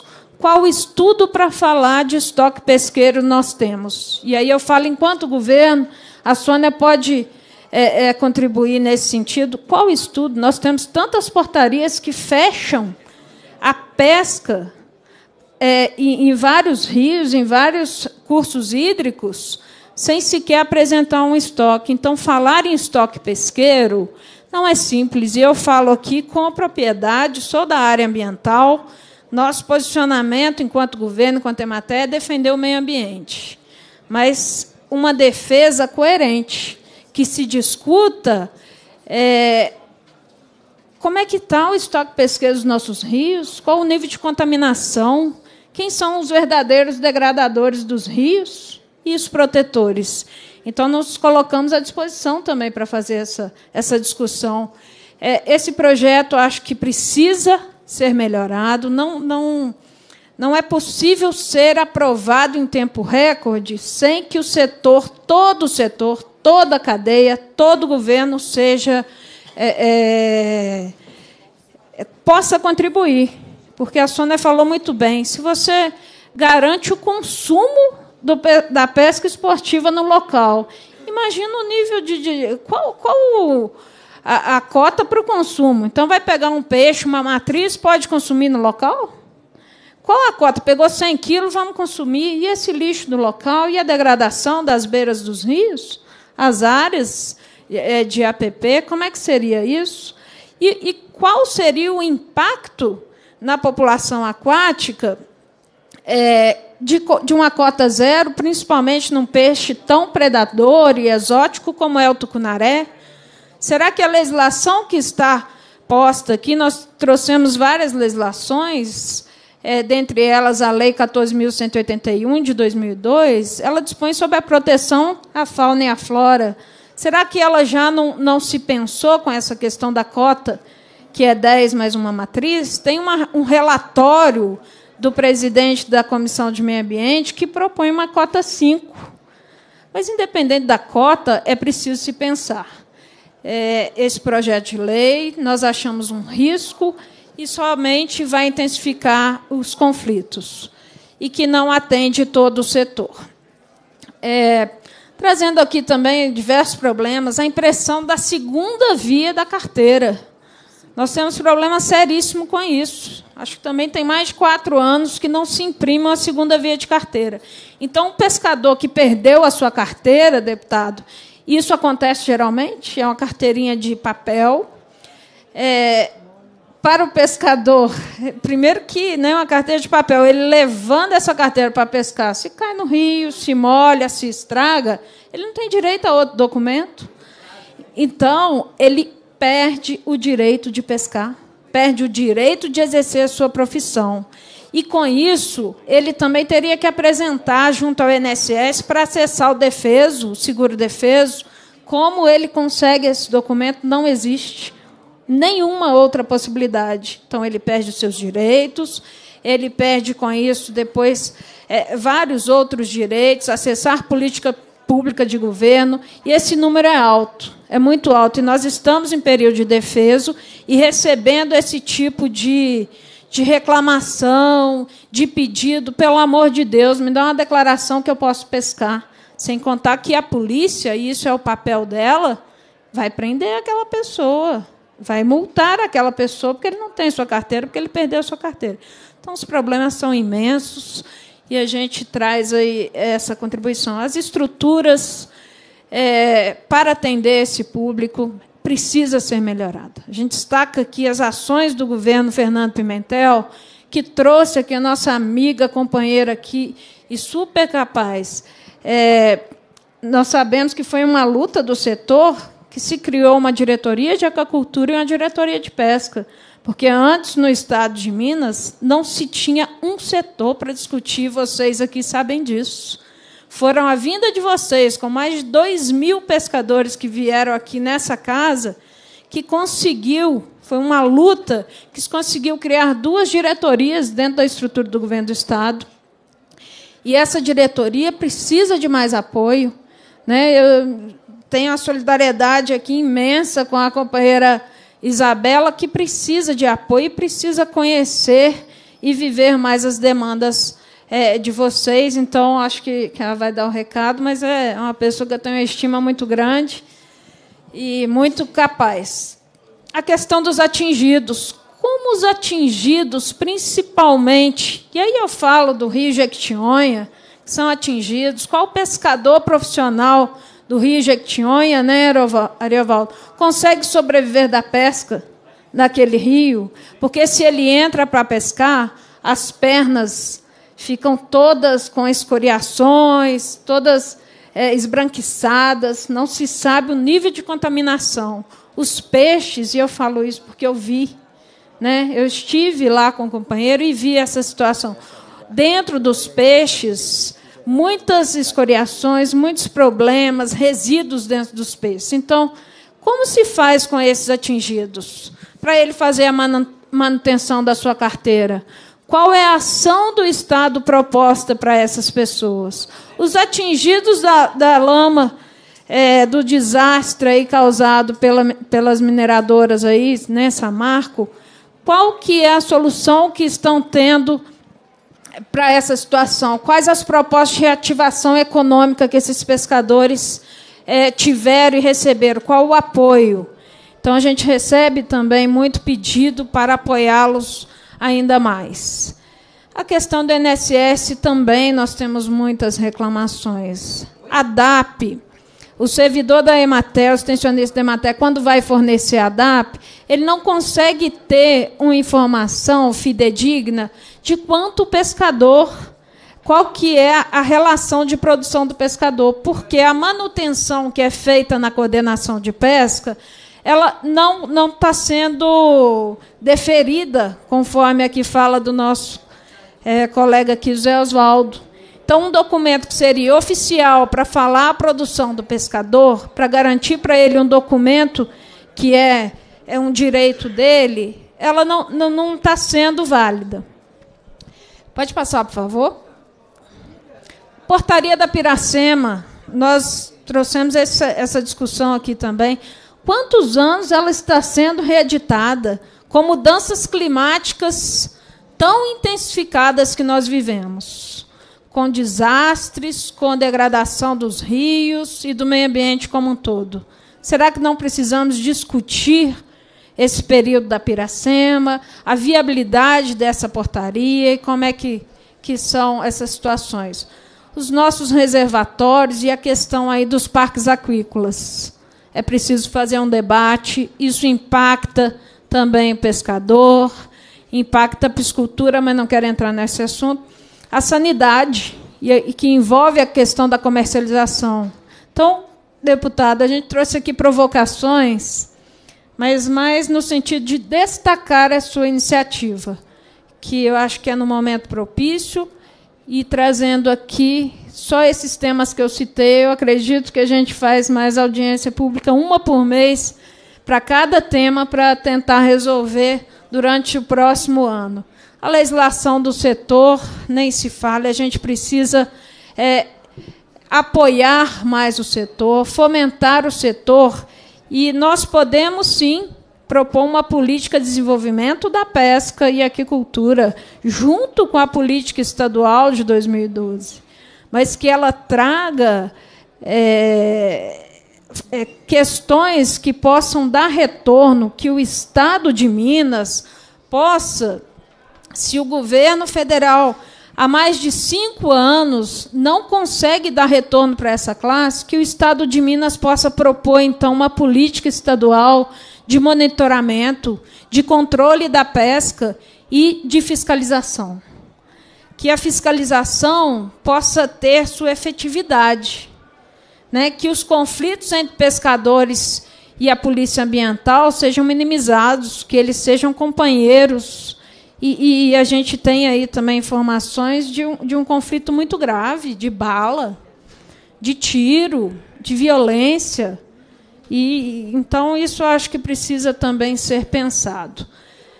Pode passar, por favor? Estou concluindo, gente. Desculpa, a gente traz aqui, a gente vivenciou já muita coisa no setor e o comprometimento com vocês é muito grande e eu não abro mão de trazer essas questões.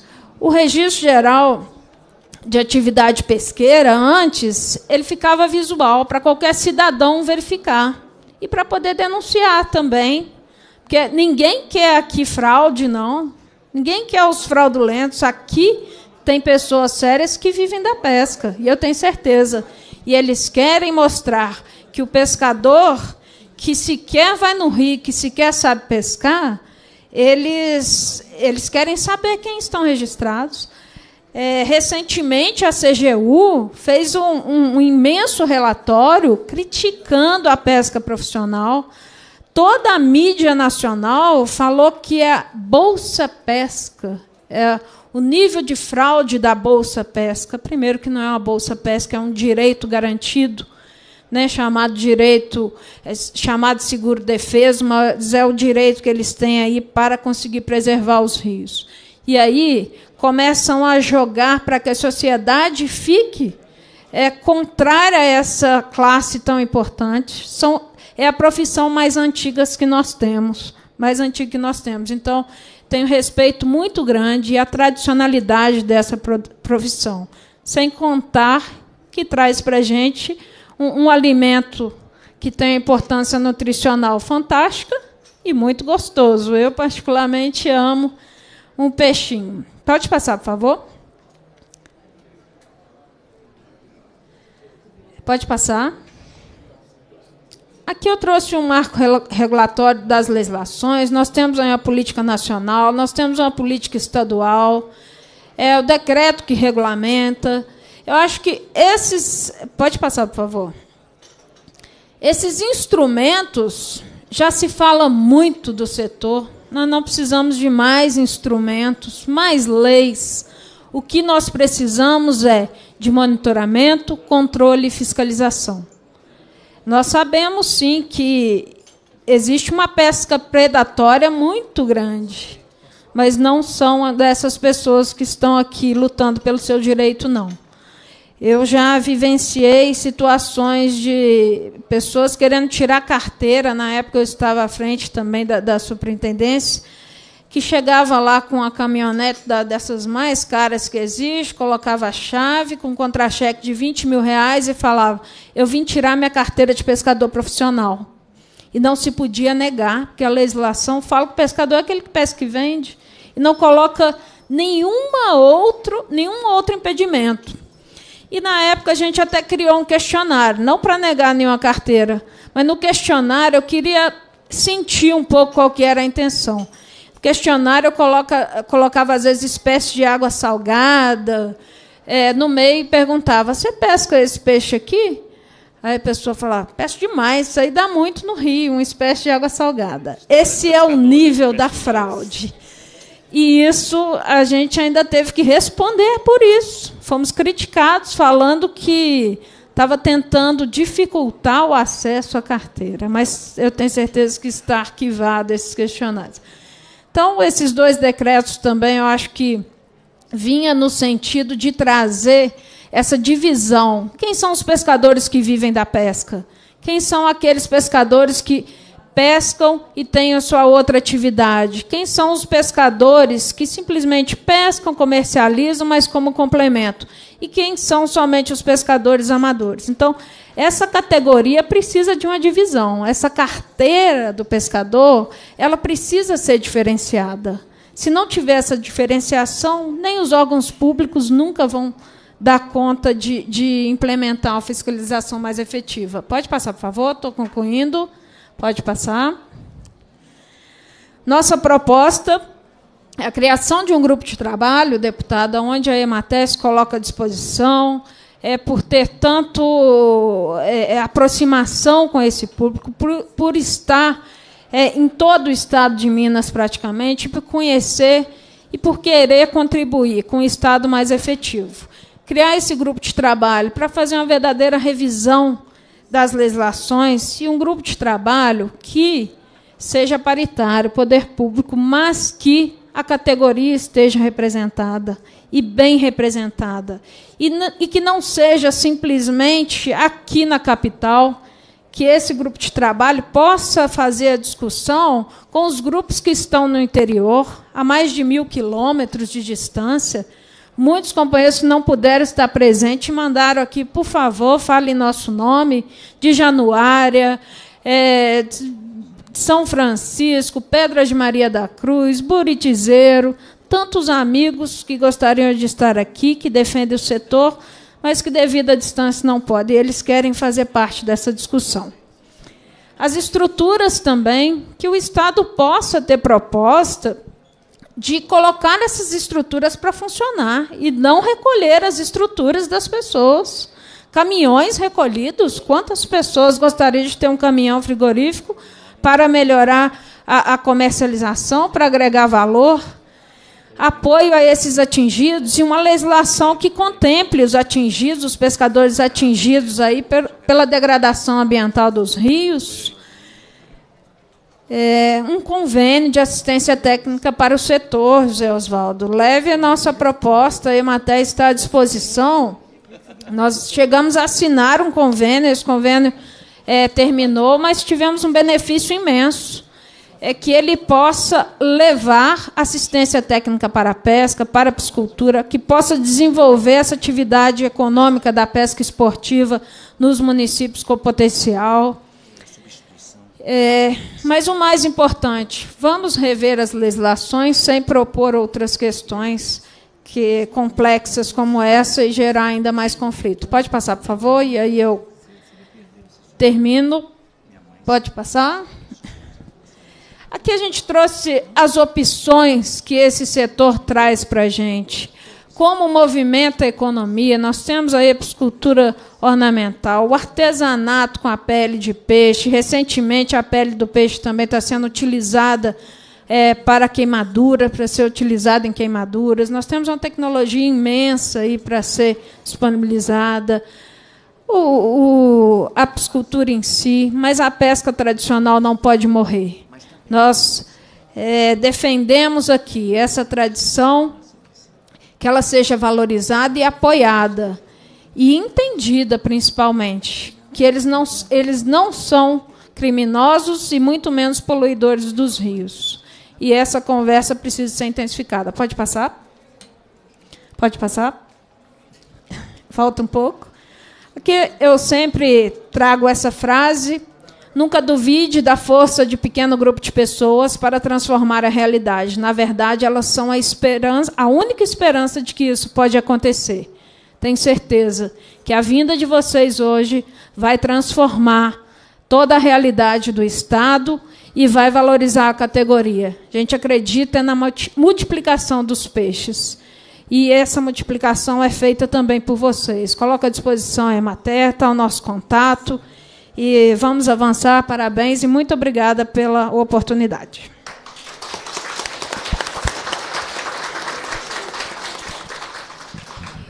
Muito obrigado, Vanessa. Eu passo agora para a sua fala a Isabela Rezende, diretora da peça da Secretaria de Desenvolvimento Agrário. Boa tarde. Boa tarde a todas e a todos.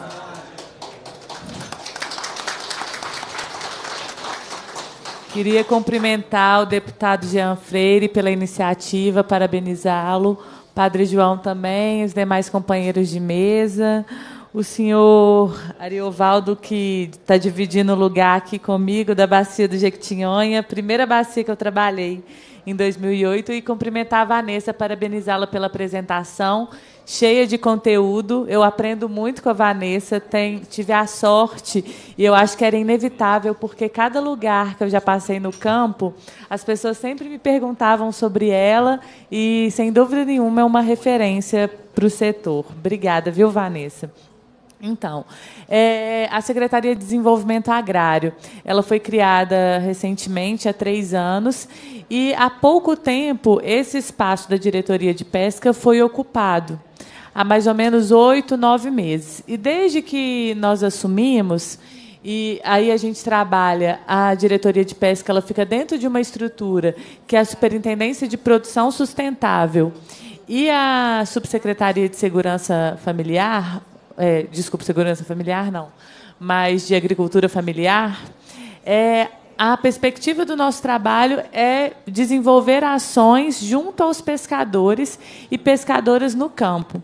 Então, todas essas demandas que, que estão sendo que estão se trazidas agora, elas já têm um histórico, mesmo antes da diretoria eh, ter essa atuação, mas que vem um processo de discussão que é de direitos desse, dessas pescadoras. Nesse, nesse, partindo desse ponto, a gente fez alguns diálogos com algumas pescadoras e pescadores para construir algumas propostas que pode ser do executivo e do legislativo também. Por isso que eu acho que ocupar esse espaço aqui hoje, de fato, é uma iniciativa muito boa que a gente deve aproveitar e parabenizar mais uma vez, para a gente poder construir caminhos é, para melhorar mesmo para o setor. Então, foram desenvolvidos dois seminários no Triângulo Mineiro que foi quando a gente estabeleceu e teve acesso até o projeto de lei da cota zero lá, né, por alguns municípios, e foi um local onde a, pe a pesca esportiva, eu acho que de todos os locais de Minas Gerais que eu tive a oportunidade de conversar, talvez tenha sido o local que a demanda da pesca esportiva foi mais clara e mais forte. É, depois, a gente é, montou um grupo de trabalho sobre pesca artesanal junto com os pescadores da bacia do Rio São Francisco. Esse grupo, grupo de trabalho ele foi uma demanda da Comissão de Povos e Comunidades Tradicionais. Foram feitas várias visitas de campo, uma participação muito forte da Pastoral da Pesca e dos movimentos dos pescadores artesanais inclusive com participação da Bahia, de alguns outros técnicos de outros estados, onde a gente teve a oportunidade de se debruçar em algumas diretrizes da pesca artesanal no estado. É, além disso, na parte, no que se refere à piscicultura, é, a gente fez um trabalho em Três Marias, na verdade foi o início né, de uma, uma visita em campo para entender como funciona o sistema de recirculação de água pensando em algumas propostas de arranjos produtivos locais que poderiam ser interessantes. O, Minas Gerais é o segundo espelho d'água maior do Brasil, né? perdendo ali para os estados do norte. Não é o segundo, assim, de estado deve ser o quarto, porque a região norte é a primeira. Então tem um potencial produtivo muito grande. Depois dessa visita, nós fizemos uma conversa com a UFMG. Foi até o Pedro que me colocou em contato com o grupo de alunos e professores, e a gente ainda está na expectativa de conseguir construir, porque a nossa proposta é, junto com a universidade, construir uma base de dados né, com os estudantes e professores que já estão no campo, construindo conhecimento, ter uma base de dados que nos dê suporte para fazer gestão. Porque as demandas, chegam, as demandas chegam, a gente precisa avaliar do ponto de vista técnico e, tendo uma informação estadual, é, facilitaria muito para a gente conseguir qualificar a discussão e tomar decisões mais assertivas. E aí, depois, muito recentemente, agora, na semana passada, a equipe da Secretaria de Desenvolvimento Agrário, eu também fiz parte dessa equipe, esteve no Acre. A gente passou é, três dias lá de agenda. É, vendo o modelo produtivo que eles têm, porque lá funciona a maior cooperativa de piscicultura do Brasil, que já exporta para a Bolívia, para o Peru, que são os países vizinhos, e num modelo de parceria que é fomentado pelo Estado, mas existe uma parceria que é público-privado comunitária, aonde os produtores locais eles são protagonistas desse modelo produtivo e uma organização que é toda voltada para a geração de renda e com um cunho social muito forte. Então, esse período todo é um período que a gente está construindo propostas para tentar dar respostas que a gente se sente né, na obrigação de vir aqui enquanto órgão executivo, é, dar resposta a esse setor que, além de ter demandado pela criação da diretoria de pesca, tem ocupado muito esse espaço com demandas e com propostas também de ações é, executivas aí. Uma outra questão que já nos foi colocada foi a questão das, dos pescadores da bacia do Rio Doce, que a gente realizou uma reunião com o IEF para ter mais informações e esclarecimentos na época da liberação, na, na, oportunidade que foi feita a liberação da pesca. Depois disso, eu estive em Aimorés, conversei com algumas associações de pescadores de Aimorés, tive algumas informações do, do, das dúvidas que os pescadores estavam tendo. Fizemos uma reunião com a diretora de Direitos Humanos da SEDPAC, que é a Secretaria de Direitos Humanos do Estado e Participação Social, e a gente está levando essas discussões para dentro das câmaras técnicas da Renova, para tentar buscar mais informações e retornar com para o pescador com outras informações e possíveis soluções dentro daquilo que é possível. É, deixa eu ver se eu esqueci. Ah, tá. Sobre os dados, né, que a, que a Vanessa falou e que, de fato, é, é muito importante para o monitoramento e controle. A gente tem trabalhado numa proposta de, de talvez um instituto de pesca, mas que não é, não é esse nome. Eu estou citando o instituto de pesca como uma estrutura, mas de ter uma estrutura de um cadastro de pescadores estadual, porque a gente já tinha começado uma discussão sobre Sim, a gente já tinha começado uma discussão sobre a agricultura familiar, de haver um sistema de informação sobre a agricultura familiar. Dentro dessa discussão sobre a produção do pescado, e aí entre os pescadores artesanais, os piscicultores, para a gente que é da agricultura familiar, é muito importante saber dessa produção, onde ela está saindo e qual é o tipo de peixe que está sendo, apesar da gente saber que o, a tilápia hoje, na principalmente na região sudeste, ela toma conta do mercado, mas de começar a discussão sobre um sistema de informações que a gente consiga aí saber quem são esses pescadores. Então, isso é uma coisa que o professor Neivaldo, junto com o subsecretário de Agricultura Familiar, tem entre as prioridades de atuação da secretaria e está colocando isso como um, um norteamento para as próximas ações. É, na parte de arranjo produtivo local, o que a gente fe, tá, é, tem feito é entender mais do que já existe no Brasil, que foi a parte da visita ao Acre, conversar um pouco mais, conversar com a UFMG, para ver se a gente consegue, junto com a universidade, desenvolver um modelo que possa, inclusive, considerar o reuso da água. Existe um modelo de Israel, existe um modelo da Dinamarca. Então, existem vários modelos que a gente pode pensar. E, além disso, pensar também em outros arranjos produtivos locais junto à pesca artesanal. Porque a gente sabe que isso, a gente já teve essa conversa com os pescadores várias vezes, a piscicultura nem sempre é alternativa para a pesca artesanal porque a pesca artesanal ela representa muito mais do que uma atividade é, de geração de renda. Ela representa um modo de vida.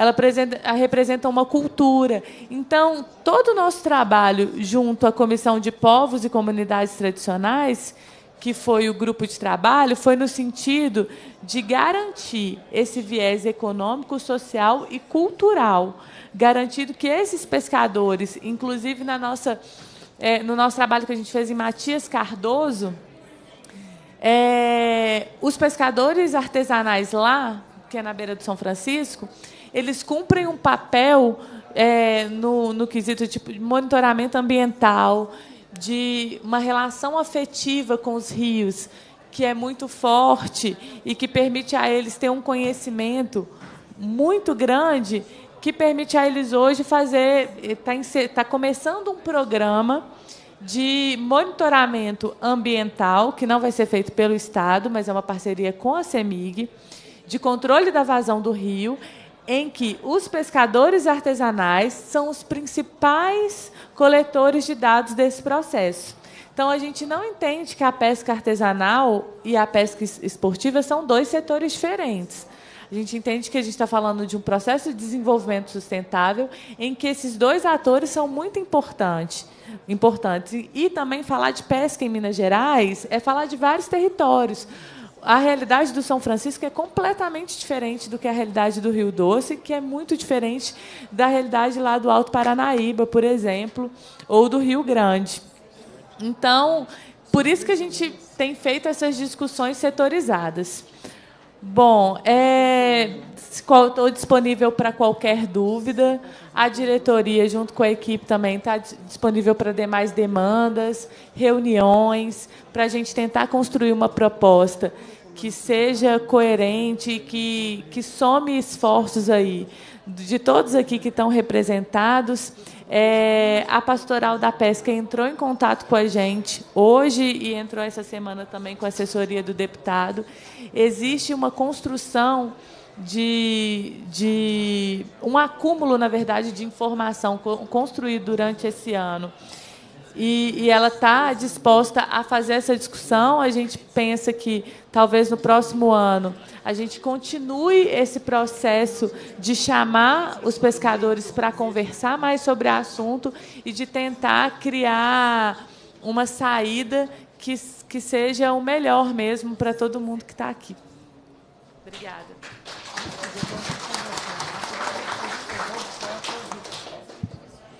Muito obrigado, Isabela. Passar a fala agora a deputado federal Padre João, companheiro, um grande amigo, faz um belíssimo trabalho por toda Minas Gerais, por todo o Brasil, na verdade. Tá? Muito obrigado, Padre João. E aqui, em nome do Jequitinhonha, agradeço o trabalho que você tem feito naquela região. Muito obrigado.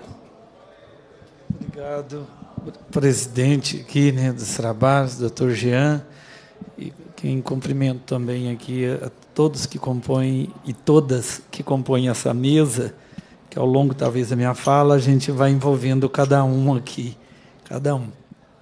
E as pescadores e os pescadores. É, infelizmente, às vezes a gente só encontra na busca de resolver problemas, né? Não sei, Sandra, quando que nós vamos nos reunir para confraternizar, para celebrar conquistas, e, e, porque, infelizmente, às vezes os encontros nossos têm sido mais para superar os desafios, as perseguições é, e, e, o abandono, né? Eu acho que a lógica que nós estamos vivendo ultimamente e era uma coisa que já vinha para trás um pouco é tipo assim, acho que hoje se o governo federal pudesse fazer uma convocação de todos os pescadores todos, colocasse lá no, no, no, no Mané Garrincha, né? E jogar uma bomba. E acabar. Dá a entender que é isso. Porque é, é, para exterminar. E é verdade que isso tem contaminando, está contaminando também alguns estados essa situação. Então parece que os pescadores são problemas um problema. Sendo que, na verdade, os pescadores sempre que trouxeram as maiores soluções, né? Não fosse assim, Jesus Cristo não tinha chamado a maior, a maior turma que ele chamou para ajudar, auxiliar, foram os pescadores. Então, é, é lamentável essa brincadeira que vem fazendo com os pescadores né, para lá e para cá em relação às políticas e os programas. Se tem uma suspeita, suspende tudo. Suspende tudo. E deixa morrer a língua, assim, ou pedir, mendigar, defender, depender de favores. É uma coisa irresponsável, absurda. Absurda. É, o que estão fazendo. Né? E isso iniciou, na verdade, com o PA, com o programa de aquisição. Todos os programas, na verdade, que via empoderando o povo, e mais, mas passa a ser agora alvo de criminalização. Criminalização e perseguição. E que está contaminando o Estado de Minas Gerais também. Porque esse inquérito da Polícia Civil sobre os pescadores do Rio Doce, 300 pescadores, é uma coisa absurda, irresponsável. Irresponsável. Se alguém errou, quem errou foi a Renova. Quem errou foi a Samarco. Né? E agora abre um inquérito envolvendo 300 pescadores para intimidar, constranger quem está reivindicando direitos. É um absurdo. Né? É, é, é intimidar. Ou seja, você não tem que reivindicar direitos aqui. Aí, por um, suspende todos. E aí, pessoal, algumas ações do governo federal, ela tem levado a gente à morte. É verdade que às vezes os pescadores ainda dão um jeito e se viram. Mas houve agora, só para socializar, doutor Jean, Vossa Excelência que é médico, suspenderam, por exemplo, todos os medicamentos das doenças raras. Só em Minas Gerais, nos últimos 15 dias, nós tivemos dois óbitos. Suspendeu o medicamento, que é o Diego Albuquerque, com uma criança de um ano e meio. E o ministro, eu, numa audiência há 15 dias, indagando o ministro, não, eu suspendi porque tinha suspeita de irregularidade. Aí suspende de todos do Brasil, de todos. E como ele depende do medicamento, veio a óbito. Trinta e poucos anos, veio a óbito. Mas agora, semana passada, outro. Então, e é assim. Suspende a carteira, suspende. E a aposentadoria, como é que vai ficar? Como é que vai ficar a Previdência? Esse período. Então, sem contar que o ataque agora à tarde. Acho que está lendo agora a reforma da Previdência. Falaram que não ia ler, que é só para fevereiro, mas agora já estão em plenário lendo e marcou para 19 de fevereiro. Então, é uma, outro ataque às pescadoras, aos pescadores, porque enquanto segurado especial, ah, não está mexendo com segurado especial. Não é verdade, está mexendo sim com os agricultores, com os pescadores e pescadores. Vão ser os maiores, mais penalizados. Né? E ainda que vai ter como garan, a, a, a, comprovar a contribuição, ainda é um projeto nebuloso. Né? Então, é de fato um grande ataque aí, sem contar a questão do registro geral, mas é uma série, esse abandono. Né? Vocês estão aí órfãos, órfãos, total descaso. Essa é a realidade. E nós temos que conter aqui, é, Sônia, como que a gente avança? Vocês que estão aqui representando o governo também do Estado, a Vanessa e a Sônia, como que a gente avança numa integração maior da polícia ambiental com a, os órgãos ambientais, essa parte de fiscalização e de apoio e de educação ambiental, de levar mais informação, né, mais suporte para os pescadores né, e não criminalizar. E não criminalizar. Então, e, e, e, aí, quando a gente acha que as falhas do executivo ou algumas ações do executivo é que vem prejudicar, aparecem iniciativas de legislação que, em vez de colaborar e de corrigir, piora a situação dos pescadores. Piora. Mesmo aqueles que gostariam, sim, é, é, é, a Isabela. Gostaria de manter sempre enquanto artesã, mas alguns às vezes vai para um tanque rede, acaba saindo porque ele vê que a Copasa está só poluindo os rios. Que é, é uma empresa que tinha que colaborar, colaborar mais, porque a matéria-prima dela é água. A matéria-prima dela é água. Ela tinha que preservar mais, cuidar dos rios. Aí vem uma Vale, vem uma Samarco, vem quantas empresas mineradoras? Quantas empresas mineradoras que estão detonando os rios e não tem o aparato fiscalizador do que o mesmo que tem da polícia ambiental sobre os pescadores artesanais, que é quem mais preserva os rios. Porque ele sabe e tem consciência de que os filhos, os netos, bisnetos, trisnetos, tetranetos vão depender dessas águas. Vão depender. Então, mas não tem. Olha o rio Jequitinhonha, vai lá, vão lá em Irapé, se tem como produzir peixe naquela lagoa, naquela represa, você pega o peixe e está com tumor. Não é essa? o pessoal sabe dessa.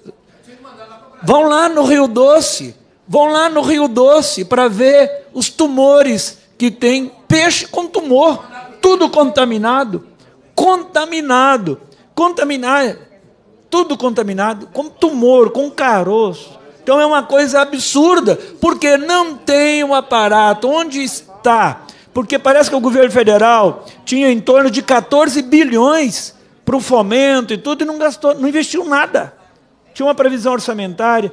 Depois, acho 14 milhões para essa parte de fiscalização. Não gastou nada na parte de fiscalização. Presidente, o senhor está bem, né? Prazer estar com o senhor aqui, Antônio Carlos Arantes. É, então, não tem, não tem quem para ajudar, para facilitar, não encontra.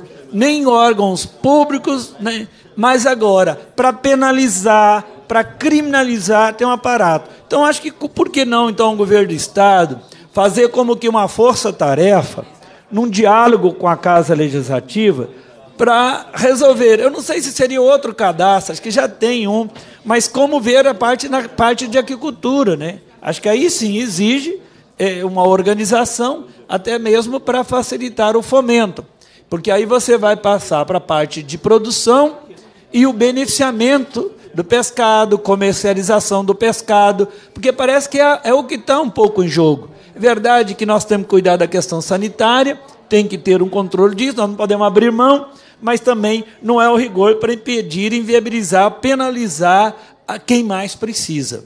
Quem mais precisa. Eu vejo que as iniciativas da legislação elas são confusas, não têm clareza, é porque ela, uma vez que vieram complementando, a informação que eu tive aqui agora, na verdade, que a, a, a do Anselmo foi rejeitada, totalmente rejeitada, deputado Anselmo, então ela já está fora, ela não foi incorporada nessa proposta. É, e, e, é o que eu estou entendendo. Uma delas, mas uma que foi, são duas. A do deputado Fred Costa, ela mantém, ela fala mais da pesca amadora, é, quando praticada com a finalidade de lazer e recreação, e, mas que estabelece essa cota zero. Mas mesmo para alguns pescadores, ou, ou, ou que teve na sua história, e que às vezes tenha como atividade complementar a própria aquicultura, é, talvez pode ficar prejudicado. A minha dúvida, por exemplo, aqui, é, deputado, se tenho lá um pesque pague, o próprio grupo montou, tem uma cooperativa, a pessoa que foi ali, então ela não pode levar para casa os peixes? No entendimento da lei, acho que não. No entendimento da lei, não pode. E às vezes aquele pesque pague ele tem uma estrutura para pesca, mas ele não tem uma estrutura de cozinha, nem todos têm, quem conhece sabe, nem todos têm uma estrutura de cozinha, de para o beneficiamento, para ele consumir ali, em loco. Então, é, é nesse sentido, é porque depois acho que vai abrir, eu vou provocar. É porque tudo tem que ser falado no microfone, acho que é bom você escrever, para registrar, que ali sua fala vai ficar registrada e você vai ter dado uma contribuição na audiência pública. Jamais eu estou lendo aqui. É uma maneira. Então, é, é, acho que nós temos que aprofundar, e para isso tem que discutir. Mas para discutir tem que dialogar. Eu tenho que te ouvir, tenho que ouvir a proposta de cada um. Por isso que eu acho que vai abrir o microfone para essas contribuições. Pessoal, então, é um pouco isso. A gente traz a nossa angústia, traz aqui a, a, a, o, o nosso protesto. Saibam vocês que eu estou sendo perseguido. Viu, Valtim? Porque Antônio Carlos Arantes, presidente agora aqui. Nós tive, os pescadores em Minas tinham um grande problema. Porque para embarcação miúda, eles tinham que ir em Pirapora, ou no Rio de Janeiro, ou no Espírito Santo, né, para ter a dispensa e ser considerado e enquadrado como segurado especial. Nós, numa gestão nossa, junto com o Ministério, que foi muita luta e tudo, conseguimos tirar ali uma portaria. Aí nós fizemos uma cartilha, uma cartilhazinha de pesca, de a Câmara, a gráfica da Câmara. Eu não contratei gráfica fora, pessoal. A gráfica da Câmara que rodou a cartilha. Tipo, lá ensinando a pescar com as leis, com toda a produção de trabalho que está no site. Ou está no site do Estado, ou que estava ainda no site do ministério. Esse é o conteúdo da cartilha. E um, um servidor aqui da superintendência de Belo Horizonte denunciou como que ele tivesse feito. E a cartilha, é, é, então, é, é, tinha cometido ali uma improbidade. Então, olha bem, uma cartilha que nós produzimos, assessoria, muitos aqui conhecem quem é do sul de Minas, que contribuiu, o Demis, que tem inclusive mestrado, é agrônomo, tem mestrado, a edição, o servidor nosso do gabinete que produziu a diagramação e arte. Então, tem setor do Ministério Público que está na cola, nos criminalizando por isso, por informar. Tem setor do Ministério Público e da Polícia Federal, inclusive, e da própria Polícia Federal, que não quer, não toleram, não aceitam o empoderamento dos pobres. Não aceitam. Setor, inclusive, da Polícia Federal, setor do Ministério Público, que não admite o empoderamento de pescadores, de indígenas. Para eles, para esse setor, tinha que fuzilar todo mundo. Essa é a realidade. E persegue quem defende. Persegue quem defende como eu sou perseguido por setor da Polícia Federal, por setor do Ministério Público e por setor do Judiciário. Por setor do Judiciário. Quem vende cocaína está solto. Quem vende cocaína está solto. Não é punido. Não tem inquérito. Não tem inquérito. Entendeu? Tem todo um aparato que nada. Agora, quem luta pelo empoderamento dos mais pobres, esses sim são perseguidos. São perseguidos. Porque às vezes a, a, a própria grande mídia também tem um setor de hipocrisia e na própria sociedade um grande setor de hipocrisia. Porque às vezes só bate no legislativo e no executivo e não consegue enxergar as perseguições que existem no judiciário. No judiciário. Então, presidente, é mais aqui, desculpa pelo desabafo, mas é, é porque isso, na verdade, deixa a gente indignado. Indignado por, pela criminalização dos pobres e dos movimentos. E não bastasse isso, Ministério da Pesca ou Secretaria Federal da Pesca, para garantir para vocês equipamentos, para garantir fábrica de gelo, para garantir caminhão frigorífico, isso não tem não. Mas agora, para ir lá e pegar equipamentos que nós destinamos como emenda parlamentar, porque o carro que foi para Três Marias é para emenda parlamentar, a serviço dos pescadores. Aí o ministério tem que trabalhar, tem que ir lá e recolher. Caminhão frigorífico que foi para lá também para trabalhar para os pescadores, esse caminhão foi recolhido, porque é emenda parlamentar desse deputado. E aí, no sentido de nos perseguir, de, de, de impedir, né? E, e, e, inviabiliza também os, os, pescadores, não só o beneficiamento, mas a comercialização da produção. E agora vem aqui para impedir um peixe que você pegar, um lambari que pegar, você não pode levar, não, você tem que comer ali. Você vai assar ali, como antigamente, talvez vai montar um fogo e vai assar e tem que comer ali esse lambari. E aí tem. Então é, é essa nossa indignação então eu quero venho aqui para reafirmar, conte conosco, nós vamos à luta, não tenha medo. Sabe por quê? Porque a gente anda de cabeça erguida, porque nós não devemos, nós não devemos, não devemos e temos que enfrentar essas perseguições. Temos que enfrentar, porque enquanto a gente baixar a cabeça, nós vamos permitir voltar à escravidão, como eles estão querendo, voltar à escravidão, arrancando todos os direitos todos os direitos. E aí faço apelo aos servidores públicos, aos servidores, porque entendam, a sociedade tem que entender que esse não é um problema dos pescadores, é um problema de todos nós. Porque se nós falamos da melhor proteína, é do peixe. É o peixe.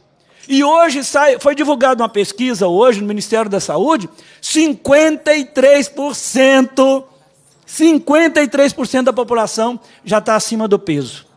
53% da população brasileira acima do peso. Né? Então, também um alerta. Ou seja, como que vamos ver? E a melhor proteína nossa é o peixe, é o alimento saudável, e temos então que, que valorizar eh, eh, eh os pescadores. Força de Deus, conte conosco que não vamos abaixar a cabeça. Obrigado. Muito obrigado, Padre João. Muito obrigado, Padre João. Só relembrando, o senhor falou que nós não nos encontramos para confraternização, Só relembrando, é, se a gente fosse encontrar para confraternização numa pescaria, é bom lembrar o seguinte: o senhor não pode levar o peixe. Tá? Tem que comer tudo lá na confraternização. É, agora, para a sua intervenção, vou convidar o Marcelo. É o Marcelo.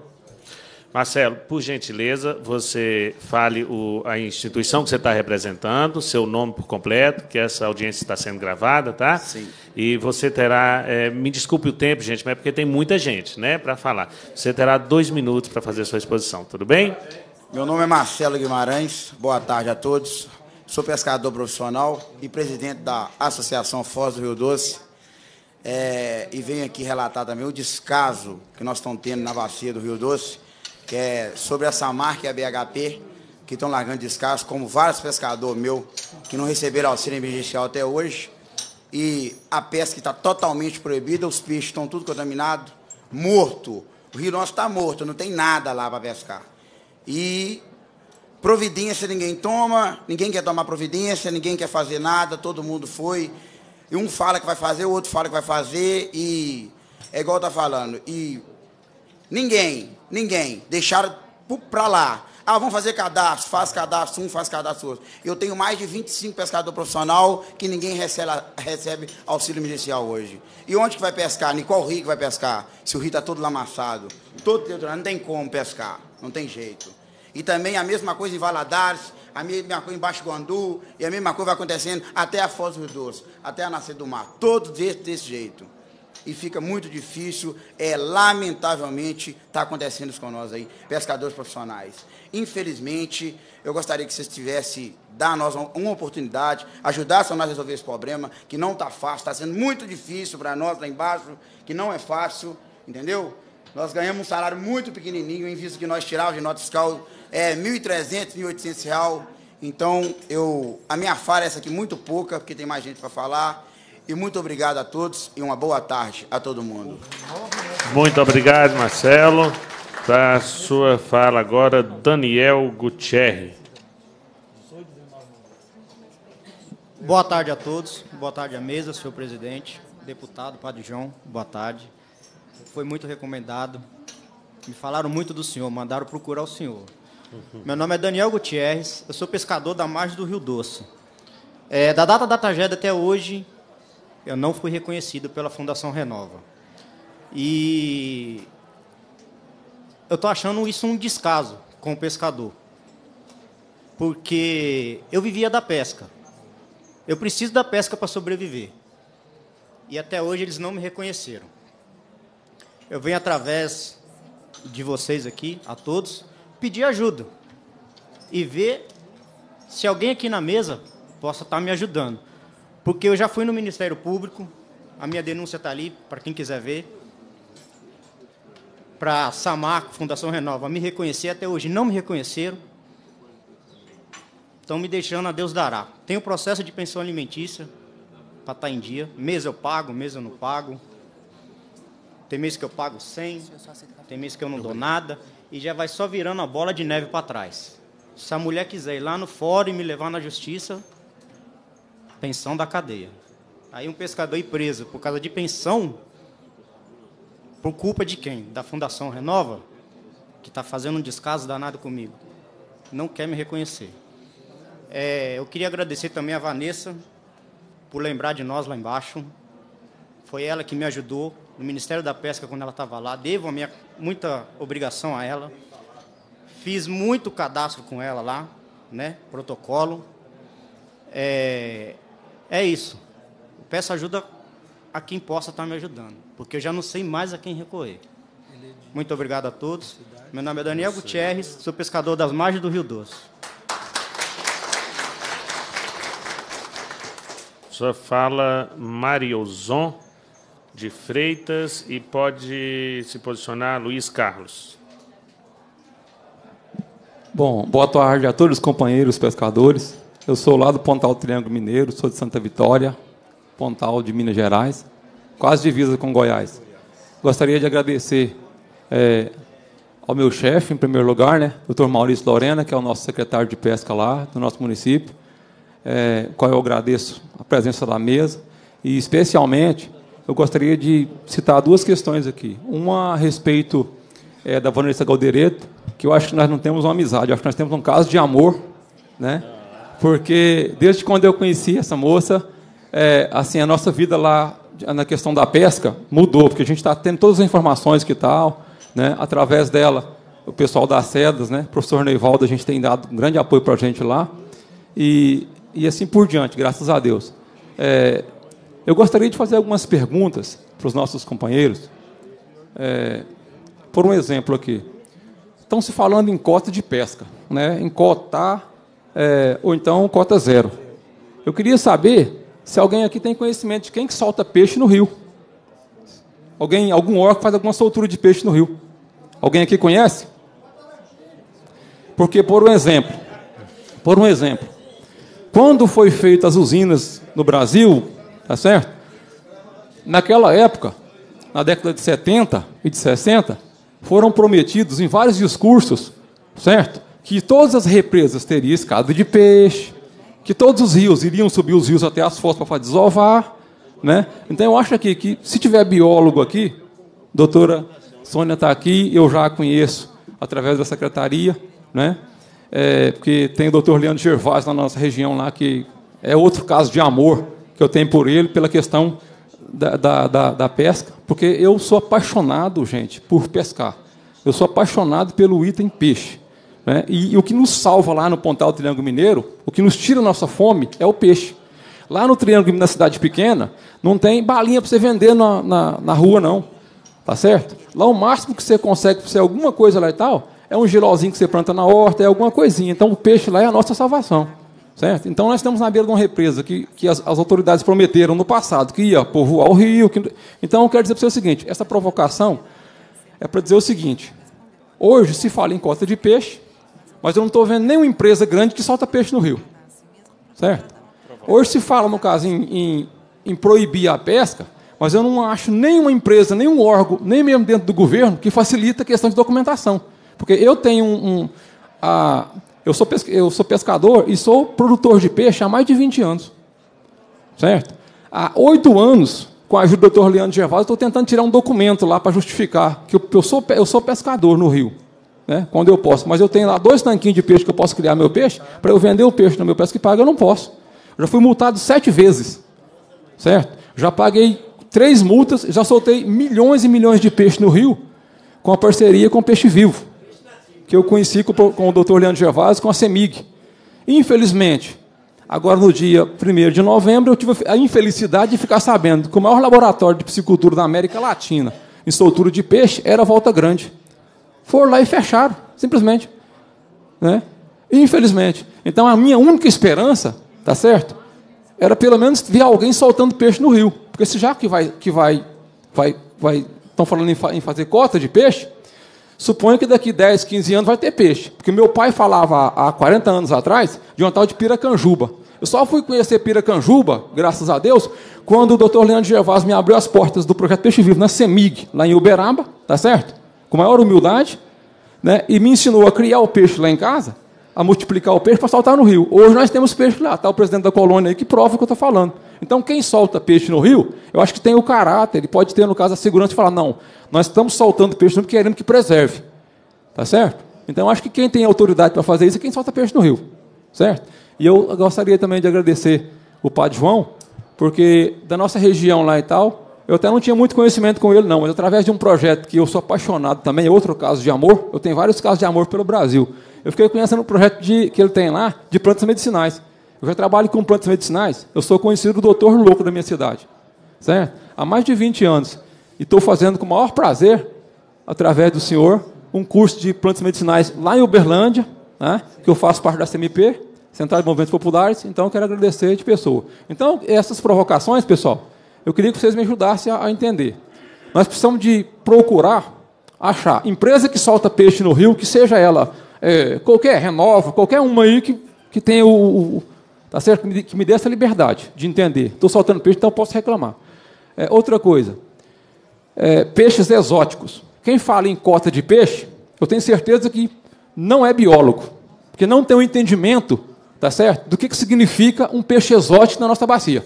Tá certo? Então eu acho que é ignorante. Vai me desculpar.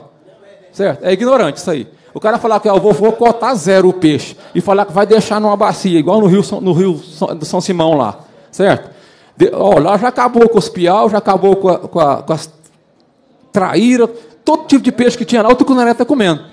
Agora, infelizmente, apareceu lá a Piragocentos piraia. Essa piraia de São Francisco, alguém levou e soltou lá. Infelizmente, daqui a pouco vai comer até a gente. Ela cresce até 4 quilos lá, no nosso rio. Outra questão, pessoal, que eu gostaria assim, que a gente é, é, tomasse encaminhamento. A gente de Santa Vitória, nós temos proposta lá, lá nós temos mais de 600 pescadores artesanais na colônia. Tá certo? A gente tem proposta lá em Santa Vitória de fazer soltura de peixe, basta procurar a gente lá. Certo? Tem proposta de, de, de fazer soltura de peixe nos rios, proposta de criar peixe em tanque-rede, mas a proposta mais interessante que eu quero propor para vocês, do estado de Minas Gerais inteira, é a partir de agora fazer a ocupação das águas dos rios. É ocupar mesmo, com tanque-rede, com o que for, para produzir peixe. Certo? Isso é um desafio que a gente está fazendo para vocês. Porque é o seguinte: se daqui a pouco vão proibir a gente de pescar, então que pelo menos não proíba a gente de produzir o peixe lá na água. Tá certo? E muito obrigado. Muito obrigado, tá? Marazon.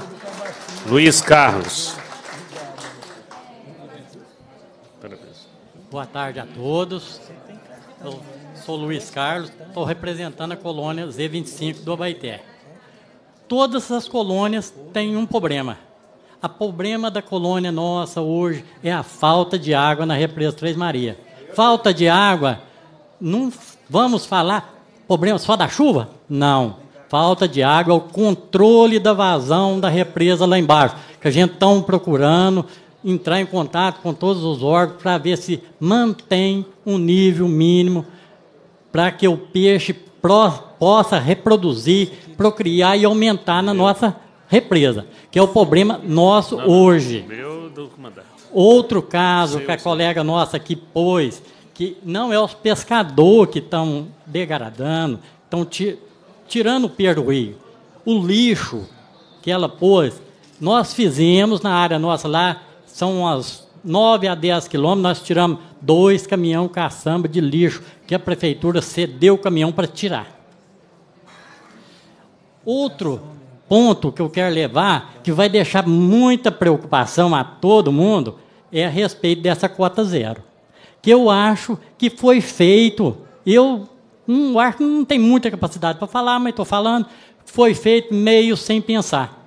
Cota zero, Cavalessa falou lá, cara chega lá com a Hilux, tira uma carteira de pesca. Ele vai, leva 4, 5, 10 companheiros. Todos os pesca. Chega lá a fiscalização de quem que é o peixe. É meu. Eu tenho documento. Está aqui minha carteira. Como vai ser feito isso? Eu acho que na hora que for para ser votado, quem fez esse projeto de lei possa ter a consciência de retirar esse projeto de lei, que eu acho que não é o ideal no momento foi feito meio sem pensar. Eu, eu acho que todo mundo entendeu muito bem o que, que estão querendo fazer. Hoje faz isso, amanhã pode ir lá e fazer e cancelar o nosso também. Hoje. É só isso que eu tenho a falar. Muito obrigado a todos. Valdemiro Alves de Miranda. E pode se posicionar o Wellington Ferreira ou Pereira.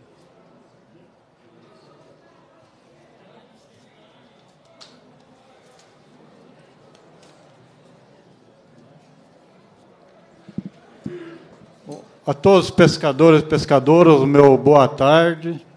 A, meus cumprimentos à mesa também.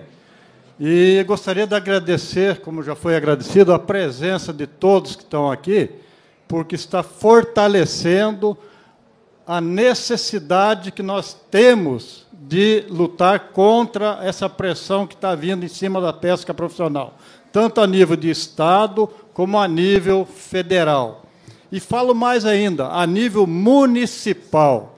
Na frente aqui eu vou citar uma lei que foi criada no mês de outubro agora, é, aprovada pela Câmara e sancionada pelo prefeito. Eu vou citar. Eu vou fazer tópicos assim só para poder é, a maioria do assunto que já foi discutido. Mas, primeiro, vamos começar pela cota zero. A partir do momento que se institui uma cota em quantidade, é, teríamos que ter em mãos vários elementos para chegar a essa conclusão.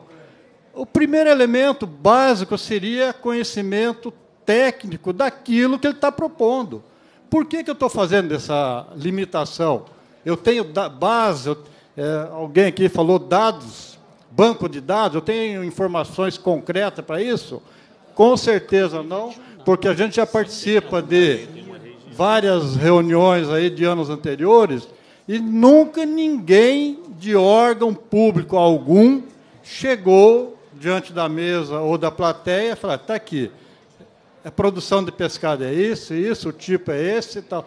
Eu nunca vi. Se tem, eu gostaria de saber.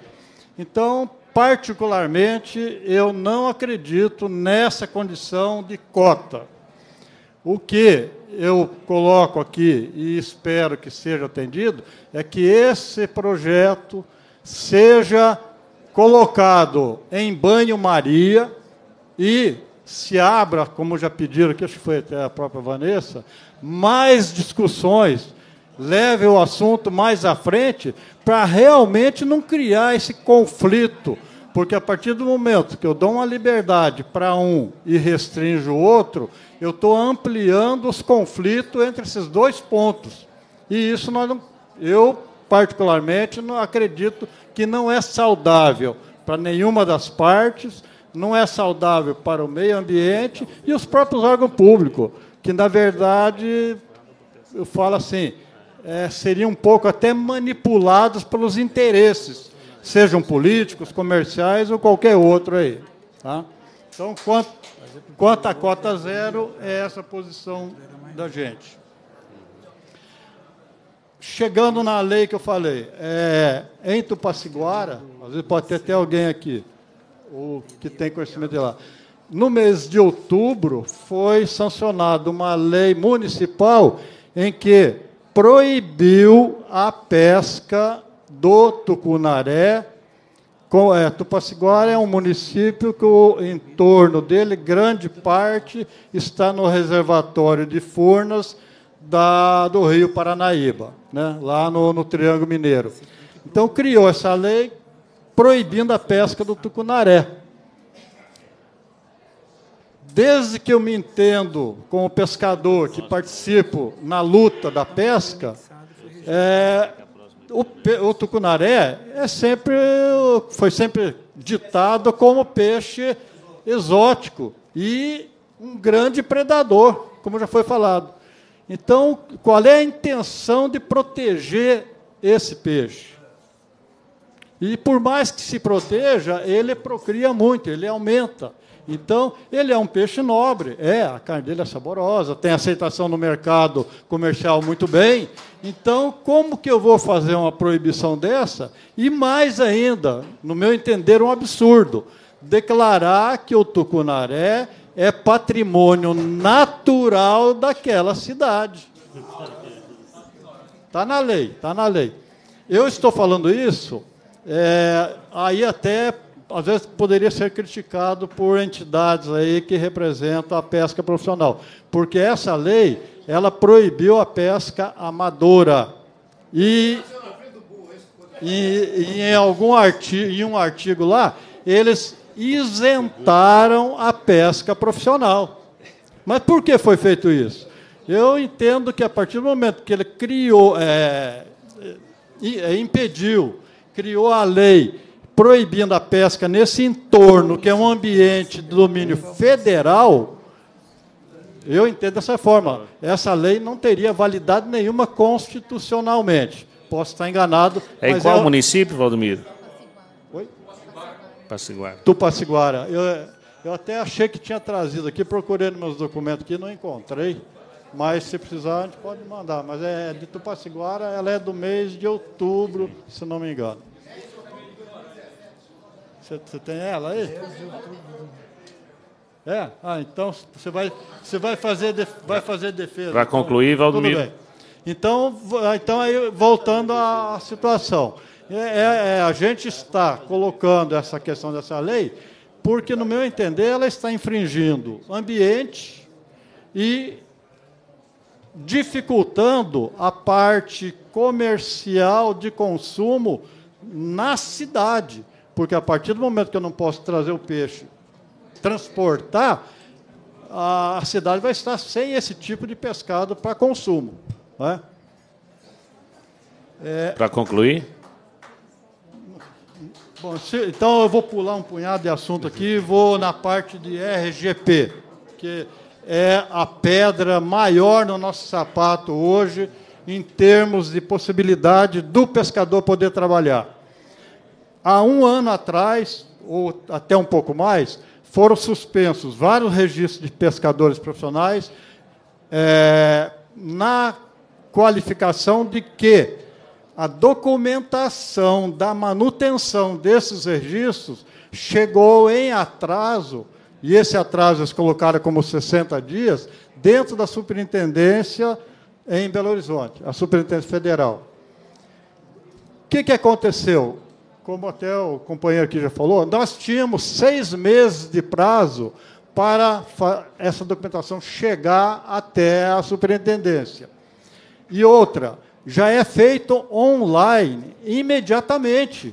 Se eu faço online e depois tem que mandar essa documentação, esse prazo eu entendo que deveria ter uma condição melhor ou maior. Só que não. O Ministério da Agricultura, quando assumiu a, a pasta em substituição ao extinto Ministério da Pesca, próximo do Ministério da Agricultura perder essa gestão da pesca, é que ele ocasionou essa situação de suspensão. A partir daí, passou para o Ministério da Indústria e Comércio, que, não, eu não sou o pai da criança, então não posso resolver. E até hoje a gente vem enfrentando essa dificuldade. Agora, já vou concluir, só mais uma. No mês de julho, e aí, bom, com a, com a situação da, dos RGP suspenso, a nossa federação, na pessoa do Valtinho, a nossa Confederação Nacional da Pesca, na pessoa de Valzemir, dentro de Brasília e das entidades políticas, tentaram assim, resolver a situação. Isso foi de início do ano até mês de julho. Em julho, o Ministério da Indústria e Comércio, que, segundo eles, não era o pai da criança mais, né, é, soltou uma portaria, e essa portaria, 1275, ela deu validade para que os pescadores com registros suspensos trabalhassem. Isso em julho, já findando o ano. E aí teve dos protocolos tal, mas isso aí não é o caso, mas é o RGP. Concluir, Quando foi? No mês de outubro, então, julho, agosto, setembro, dois meses e pouco na frente, o mesmo secretário nacional que tinha assinado essa portaria soltou uma nova portaria revogando a 1275. Quer dizer, a, voltou tudo a estaca zero. Então, hoje, os pescadores com registro suspenso estão há um ano sem trabalhar, há um ano sem receber a última parcela do seguro defeso de 2016 2017 e não vão receber agora 2017 2018. Então, a proposta que a gente coloca em mesa aqui seria o seguinte: primeiro, é, aí o doutor, é, o senhor Oswaldo, né, que faz parte da área aí, é, primeiro, liberar o trabalho desses pescadores seria a partir de 1 de março, porque nós estamos na fase de Piracema. Então, a liberação imediata da atividade, a liberação da parcela de seguro retida pela manutenção da carteira, que pode ter retenção por outro motivo. Eu estou falando pela manutenção da carteira. Para concluir. E, e liberando a de 2017 2018. Então, muito obrigado. Eu tinha mais coisas, mas fico para Obrigado, Valdomiro. O Elton Pereira. Pode, se tornar Ismael. Boa tarde a todos e a todas. É, Para concluir aqui o que o Miranda falou, referente às carteiras, é até uma reivindicação minha, uma sugestão que eu faço ao Ministério, que criou-se uma portaria para poder liberar carteira para toda pessoa. Só não recebe carteira hoje aquele que é aposentado por invalidez. A não ser todo cidadão tem o direito e tirou milhões de carteira, como está dizendo aí, fraude, mas na verdade, então está existindo o próprio ministério, que ele está liberando carteira para polícia aposentado, para médico, para empresário e para todos. E depois o ministério alega, Padre João, não ter funcionário suficiente para poder atender realmente o trabalhador da pesca, o trabalhador da atividade. O Miranda falando aqui, na colônia lá entre suspenso e cancelado, nós temos mais de 100 casas. Tem pescador lá que ele está chegando na hora de aposentar, mas seu registro está suspenso. Então ele não tá, ele não pode é, exercer outra atividade. Por quê? Senão ele vai perder o direito como segurado especial. Ele não, ele não recebe o seguro e também está impedido de exercer atividade com registro suspenso. A polícia ambiental chega lá e aplica multa nesses pescadores. E para falar também da cota zero, eu até tomei confuso, eu acho que deveriam estar aqui o relator do projeto, as pessoas que fazem parte da comissão, porque eu mesmo vim aqui com intenção até de discutir, conversar com eles. Viu, deputado? Agradeço o senhor muito, mas eles deviam estar aqui na mesa, porque às vezes a gente está falando aqui entre nós, mas as pessoas que realmente deveriam ouvir, eles não estão aqui na mesa. Cota zero, eu moro na divisa com Goiás. Eu moro lá em Chaveslândia, município Santa Vitória, na beira do rio Paranaíba. Sou filho do rio Paranaíba, porque eu nasci numa ilha, desde criança eu moro lá, e lá foi criada a cota zero desde 1967. Tem 50 anos e a pesca está proibida lá. Então, se não tiver cuidado, nós cuidando de nós mesmos, vai acontecer aqui. Está falando que é para o amador. O deputado veio aqui sozinho, conversou, mas saiu. Eu acho que ele deveria estar aqui para poder nós discutir com ele. Senão, às vezes, o que nós estamos conversando aqui não vai chegar ao conteúdo que, na verdade, deveria sair daqui com uma, uma posição melhor, entendeu? Levar uma resposta mais correta aos nossos pescadores, porque hoje o que nós estamos falando aqui está atingindo a todos, mas deveria também haver essa discussão lá em Brasília, viu, Valtim? Lá em Brasília, Padre João também pode estar nos ajudando. Não, mas questão de registro, de muitos documentos, essa para concluir, essa briga nossa aí teria que ser teria que ser melhor, uma briga maior, pra, porque nós estamos na verdade sem pai e sem mãe, os pescadores aqui no estado de Minas. Muito obrigado.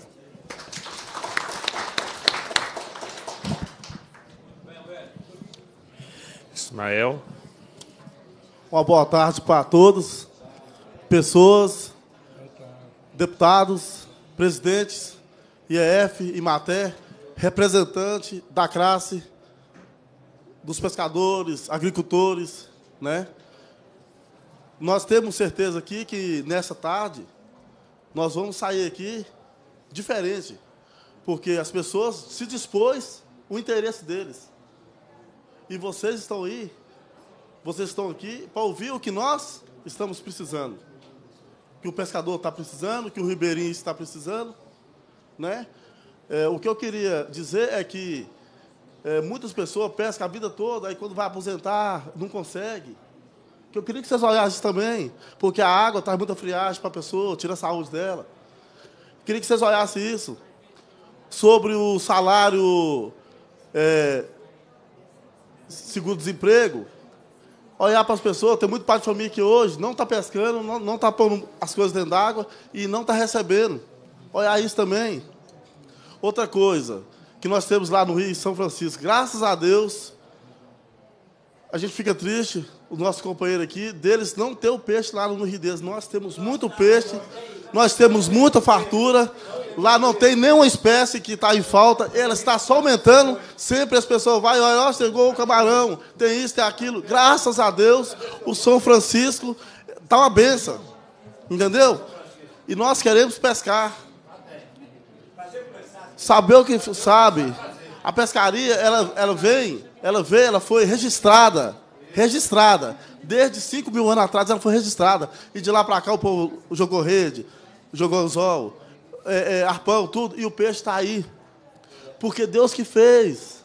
E Deus está no controle das coisas. Agora nós temos que conscientizar assim.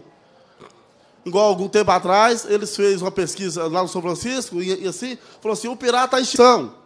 Aí, o pirá é um peixe muito gostoso, ele não tem espinha.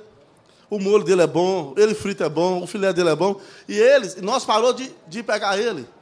Monta uma comissão aí de biólogos, vão lá em Três Marias, vão pescar o pirá lá para vocês, vai ver a abundância que tem o pirá. E nós não podemos pegar o pirá.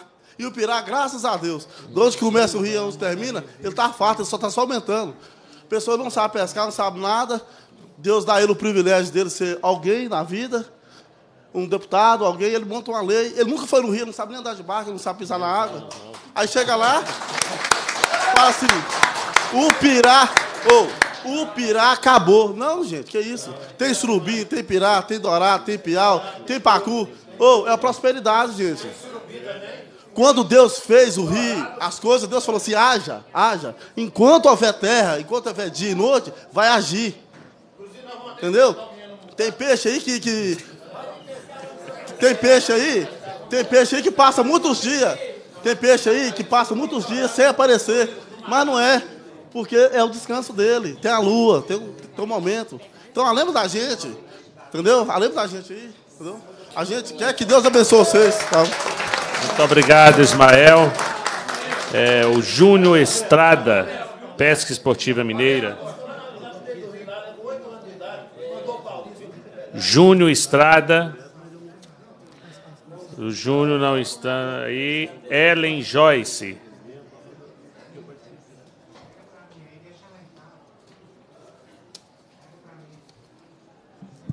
Boa tarde.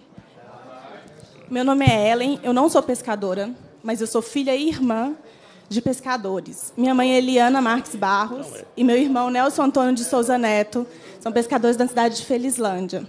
E hoje, quando eu cheguei aqui para apoiar minha mãe nessa causa, é, eu ouvi a fala do, do deputado Fred Costa dizendo que o projeto de lei que ele tinha proposto é, não só não atingiria os pescadores profissionais, como beneficiaria os pescadores profissionais. Ele disse assim que o projeto dele tinha uma justificativa de preservação ambiental, que o não transporte, transporte zero de peixes por pescadores esportivos e amadores, deixaria mais peixe para o pescador profissional pescar. Olha só, esse argumento que justifica esse projeto pode se voltar muito contra o pescador profissional e artesanal de Minas Gerais e do Brasil inteiro.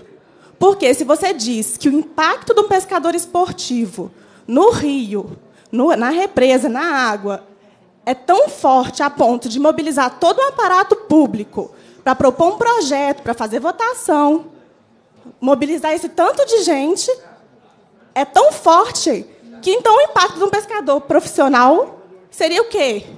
Seria um absurdo. Quando a gente está cansado de saber, a gente não tem estudo técnico científico, não, mas a gente tem conhecimento popular.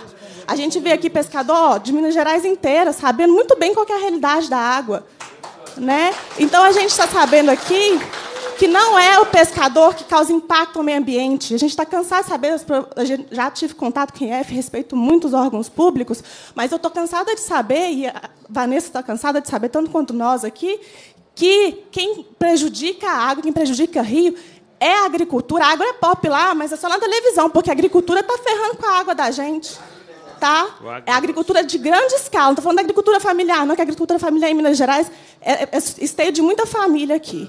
Eu estou falando aqui que quem prejudica é a usina hidrelétrica, que vai lá e não deixa o rio, o peixe procriar subir o rio. Né? Eu estou falando aqui, gente, que a mineração que põe essas represas aí, a gente está falando da- do que atinge de fato a água e os peixes de Minas Gerais. Não é pescador, não é pescador esportivo. Pescador esportivo não é inimigo de pescador profissional, nunca foi. Nunca foi. É quem está ali dentro da água todo dia que sabe o que é isso. Né? E aí, quando fala assim, não, vamos fazer um cadastramento, eu acho linda a ideia de cadastramento. Mas a gente sabe a realidade que a Fundação Renova fez lá, em Mariana e, e na barragem Fundão. O cadastramento tem que ser urgente, assim, mas é para quem foi atingido pela barragem. E é um cadastramento que não vai falar assim, perdeu barco, perdeu rede, perdeu casa, não. É o cadastramento que vai falar assim, perdeu uma forma de vida. Perdeu sua cultura. Perdeu a sua forma de, de dignidade, de lidar com a existência. Então, um cadastramento de um, professor, de um pescador artesanal da bacia do, do Vale do Rio Doce tem que levar em consideração só o quanto que ele ganhava por mês, não. Tem que levar em consideração que ele não está fazendo o que ele gostaria de fazer todos os dias da vida dele, que está dentro do rio pescando. Tá? É levar em consideração que não matou, não foi um peixe, não pescou ilegalmente um peixe, não, porque é um pescador. Por mais que ele tenha tentando entrar dentro da lei, está com toda essa dificuldade, aparato técnico, científico e público, todo enga- engavetado nesse estado de exceção que a gente está vivendo depois desse golpe. Depois desse golpe que a gente está vivendo essa exceção que é apa- aparato público, tá? Que nem o, o nosso querido Oswaldo ali diz, tudo embananado, não tem mais ministério. Quando o ministério já estava difícil, sem ministério, então, é um absurdo. Não tem condição nem de se, se legalizar. Se um pescador que está fora da lei, ele é penalizado, ele é marginalizado, é tratado pior do que qualquer tipo de bandido, uma, um BHP, uma Vale, uma Samarco, tá aí todo mundo de cara livre. Todo mundo de cara livre, enquanto que matou um rio inteiro. O pior crime ambiental que a gente já viu nesse país. E os pescadores não conseguem nem sequer um cadastramento digno para falar, olha o que, é que eu perdi. Olha o que, é que eu perdi. Então, assim, é, é pensar em mobilizar todo esse aparato público que nós temos aqui e todo esse aparato, esse aparato que nós temos para beneficiar a população. Esse estado de exceção não é tão eficiente para tirar direito? Por que, que na hora de, de garantir direito, de garantir o mínimo de dignidade da população, é tão ineficiente?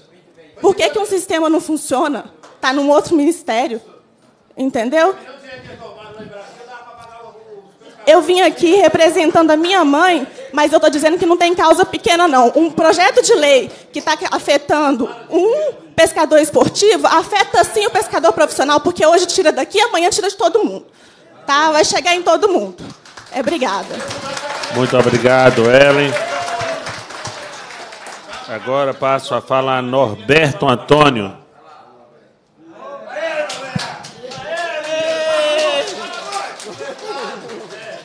Boa tarde, gente! Vocês vocês olhando. Vocês olhando o São Francisco, tá vendo uma carranca. É a carranca do São Francisco, tá vendo, São Francisco? Deputado. Deputado Jean é autor do projeto? Não. Não? Então. Então tá, deputado não é- Então eu gostaria que o deputado que tivesse, autor do projeto, estivesse aqui, porque eu ia falar para ele o seguinte: que bater em quem apanha e quem está apanhando é fácil demais. Não é verdade? Quando eu tenho 10 cachorros correndo atrás de um, só 10 batendo em um que está apanhando. E agora aqui, eu contra aqui é o seguinte, nós estamos nesse papel, né? E batendo em quem está apanhando é bom demais, é fácil demais. Né? Não tem que usar resistência nenhuma, não é verdade? É, hein? Não é verdade? Agora, meus amigos, aqui, o peixe que está no São Francisco, dá para nós sobreviver dela ou não dá? Dá, dá. Você já, você já viu? Você já viu algum pescador aqui vir aqui na Assembleia reivindicar alguma coisa aqui? Você já veio? Veio algum pescador pedir uma cesta básica aqui? Não vem, não precisa. Meus amigos lá do Samarco, lá do Mariana, vai lá para Três Maria pescar mais nós. Ó, Aqui, deputado, deputado, aqui, deputado. Aqui, aquele menino lá de boné vermelho, ó, é o meu filho. Ontem eu fui com ele na Empato de Minas, na, na, na DIPAM, na, na é chama? Dip- Unipan, Universidade de Pato de Minas, levar a filha dele para fazer inscrição. É, inscrição? Matrícula, porque ela passou na faculdade lá. Ela tem 17 anos. 17 anos, ela começou na escola do primeiro ano e foi, fez o básico, e foi para a faculdade, passou sem levar uma bomba.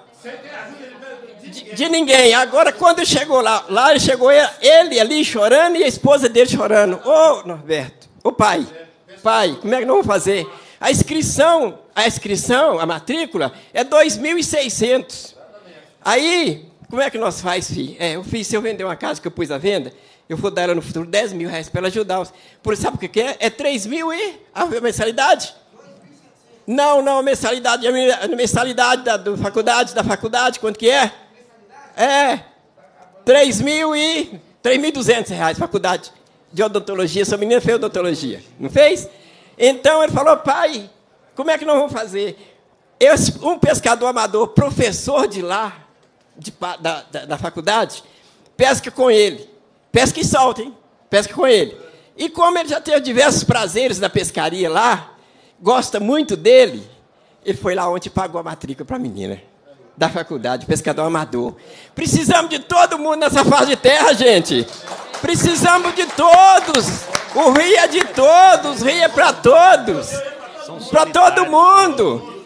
Ô, gente, pelo amor de Deus, Padre João, é Isaías 19, a pesca.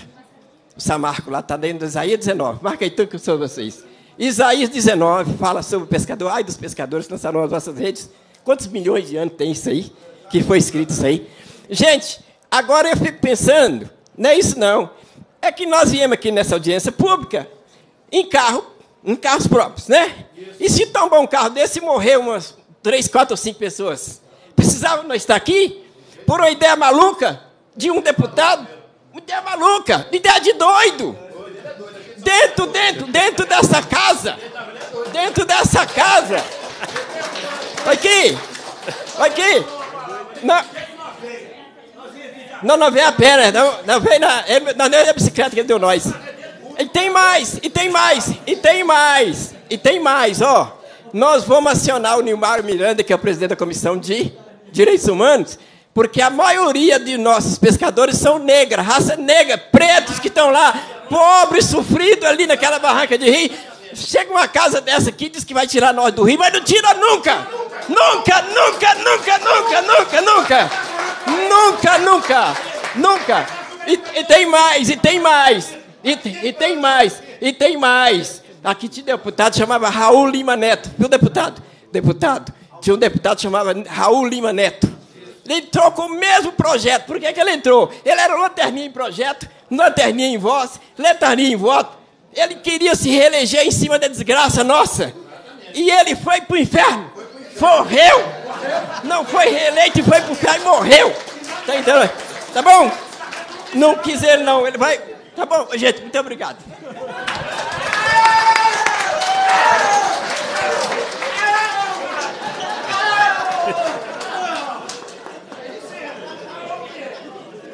Marcelo Godoy.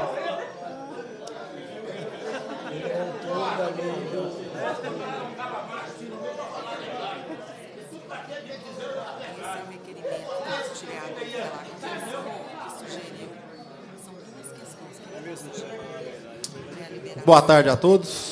Meu nome é Marcelo Godoy, eu estou secretário de Meio Ambiente em Tupaciguara. Né? Estou aqui representando a Secretaria de Meio Ambiente, a Secretaria de Turismo e Pesca e a AMITAN, que é a Associação dos Municípios de Interesses Turísticos da, da, do Alto Murgiana. Então eu fiquei muito satisfeito quando eu ouvi aqui a Ellen falando a respeito do que, que, do que, que se fala a respeito de pesca. Né? O que está acabando com os peixes? O que, que acabou com o peixe? Foi o pescador profissional? Nunca.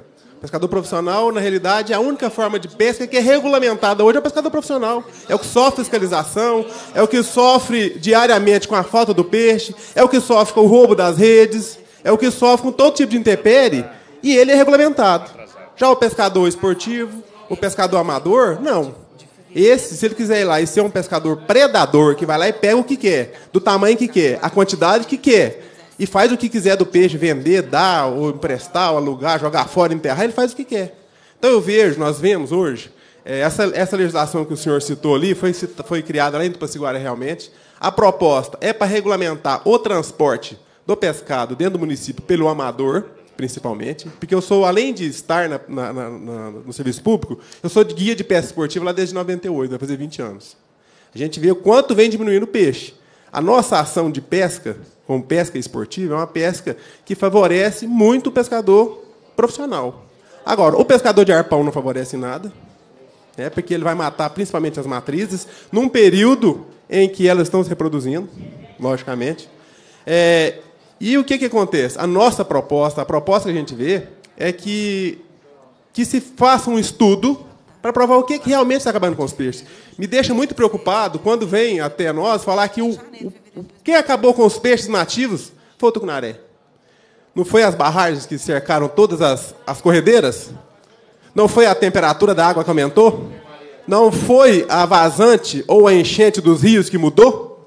Isso foi o tucunaré? Dentro de 14 espécies diferentes que tem na, na, na nossa represa em Tupaciguara, ali na, no Paranaíba, tem 14 espécies de peixe entre alóctones e exóticos. Nós temos 14 espécies. A única espécie que é batida, que é abatida diariamente, que tem essa pressão, é o tucunaré. Então nós temos que fazer um estudo, né? Por esse estudo que existe aqui, de onde que é, de quando que é. Cada setor aqui, eu estou vendo pescador de cada um setor de Minas. A, a, realidade do São Francisco é totalmente diferente da realidade do Paranaíba. A realidade do, de outras regiões é totalmente diferente da nossa. Então, teria que ser setorizado, estudo setorizado, para provar o que, que é realmente que influencia na pesca. E qual que é a influência é, do, da sustentabilidade da pesca no local. Porque a sustentabilidade ela tem três pilares, gente. Nós temos a questão ambiental, a social e a econômica. Nós não podemos bater só na questão ambiental, que o social e o econômico vai ficar devendo. Se a gente restringir demais, nós não vamos ter como alimentar o pescador profissional. E quem que vai levar a proteína de peixe lá para a cidade? Se o pescador profissional não oferecer isso. Nós vamos deixar o pescador predador, aquele que não tem consciência, que não tem nada de regulamento, ele acabar com os peixes, e o outro está lá sofrendo o dia inteiro, pagando às vezes o financiamento, que está lá correndo os riscos com vento, com chuva, com cobra, com tudo. Então nós temos que regulamentar, mas regulamentar a vida também do, do amador, do pescador esportivo, porque a gente sabe. Que, por que eu acho que o senhor ficou equivocado quando o senhor falou que nós proibimos a pesca em Tupaciguara? O senhor se equivocou. Nós proibimos o transporte e o. Exatamente. Então, o senhor, a início o senhor se equivocou. E por que nós proibimos a estocagem? Eu trabalho lá na beira do rio tem 20 anos também. Eu estou cansado de ver pescador amador que vai lá e pesca 20, 30, 40, 50 quilos de peixe num dia, que o tucunaré você pega uma tonelada, se quiser, às vezes, se achar o carnume. E vai lá e põe no estoque lá do freezer. Aí ele tem um amigo que é pescador, que nunca foi pescador, mas que foi lá e tirou uma carteirinha de pescador profissional, e vai lá e vem com ele para esquentar aquele peixe. E você, que está lá a vida inteira sofrendo com aquilo lá, que pesca, estando bom ou ruim, você está pescando para poder oferecer proteína para a população. Você não tem essa, esse privilégio. Agora ele tem de ter uma carteirinha, o cara nunca foi um pescador profissional, tem uma carteirinha no bolso, recebe o defesa, que às vezes eles estão lá por, uma questão burocrática, que a carteirinha dele molhou lá dentro do barco, que o outro nunca precisou de ir com ela na água, só vai lá só para receber o defesa, está zerinha. Ele que molhou não tem o direito. Então nós temos que ver, é, senhores deputados, excelentíssimos senhores deputados e membros da mesa, nós temos que ver, analisar estudos. Vamos estudar alguma coisa que seja concreta, por regiões, para poder não prejudicar ninguém, nem o pescador profissional e nem muito menos quem tem o direito de pescar. Eu vejo que todo mundo está incutido na cultura de todo mundo. Eu nasci lá na beira do Paranaíba também, né? na, na cidade, é 20 quilômetros lá, 30 quilômetros, eu nasci lá, eu pesco.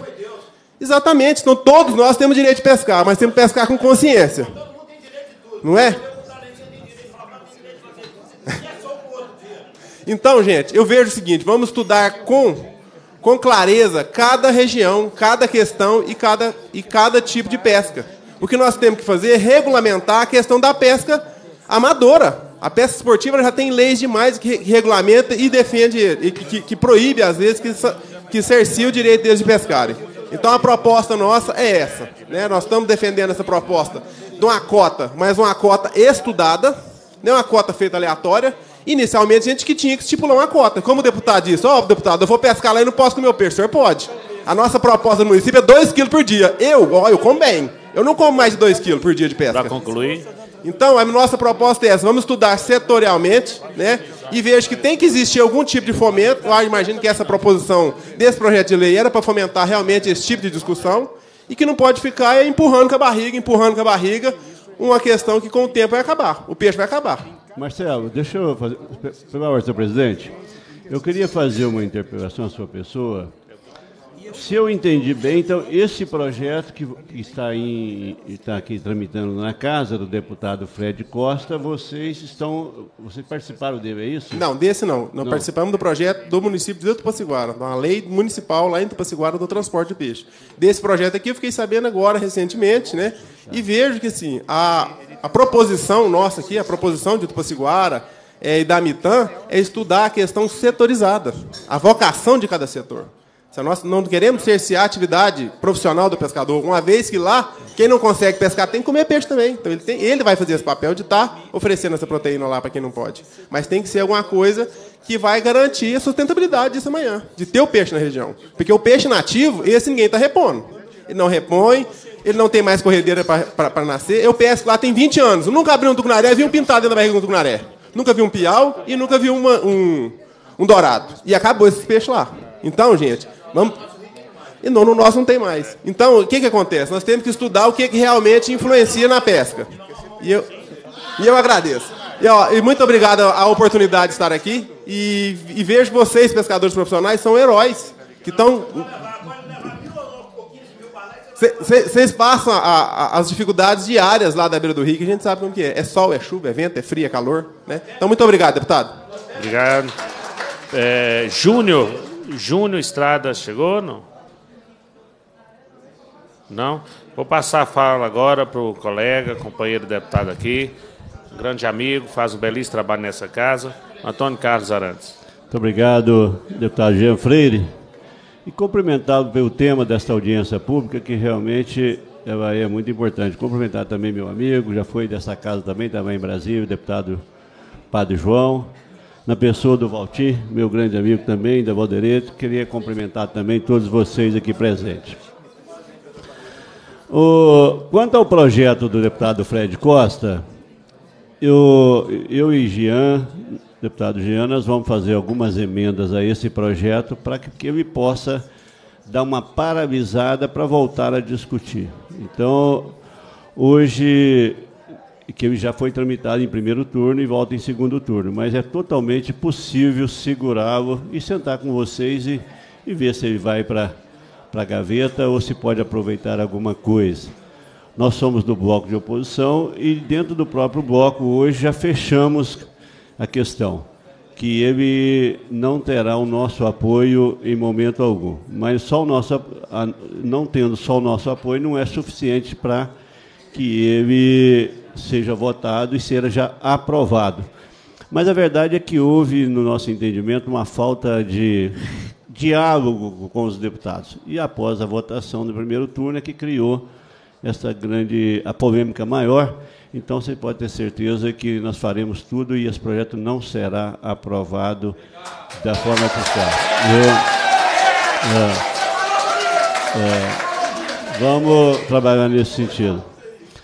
Eu queria. Primeiro, teve, um, teve um, um orador aqui, uma pessoa que fez a manifestação, que todos fizeram de forma muito positiva e muito consciente, porque vocês são da base, né? vocês estão lá no dia a dia, então vocês sabem, nós sabemos o por cima, o macro, mas quem sabe o, o, o detalhe é vocês, está lá no dia a dia.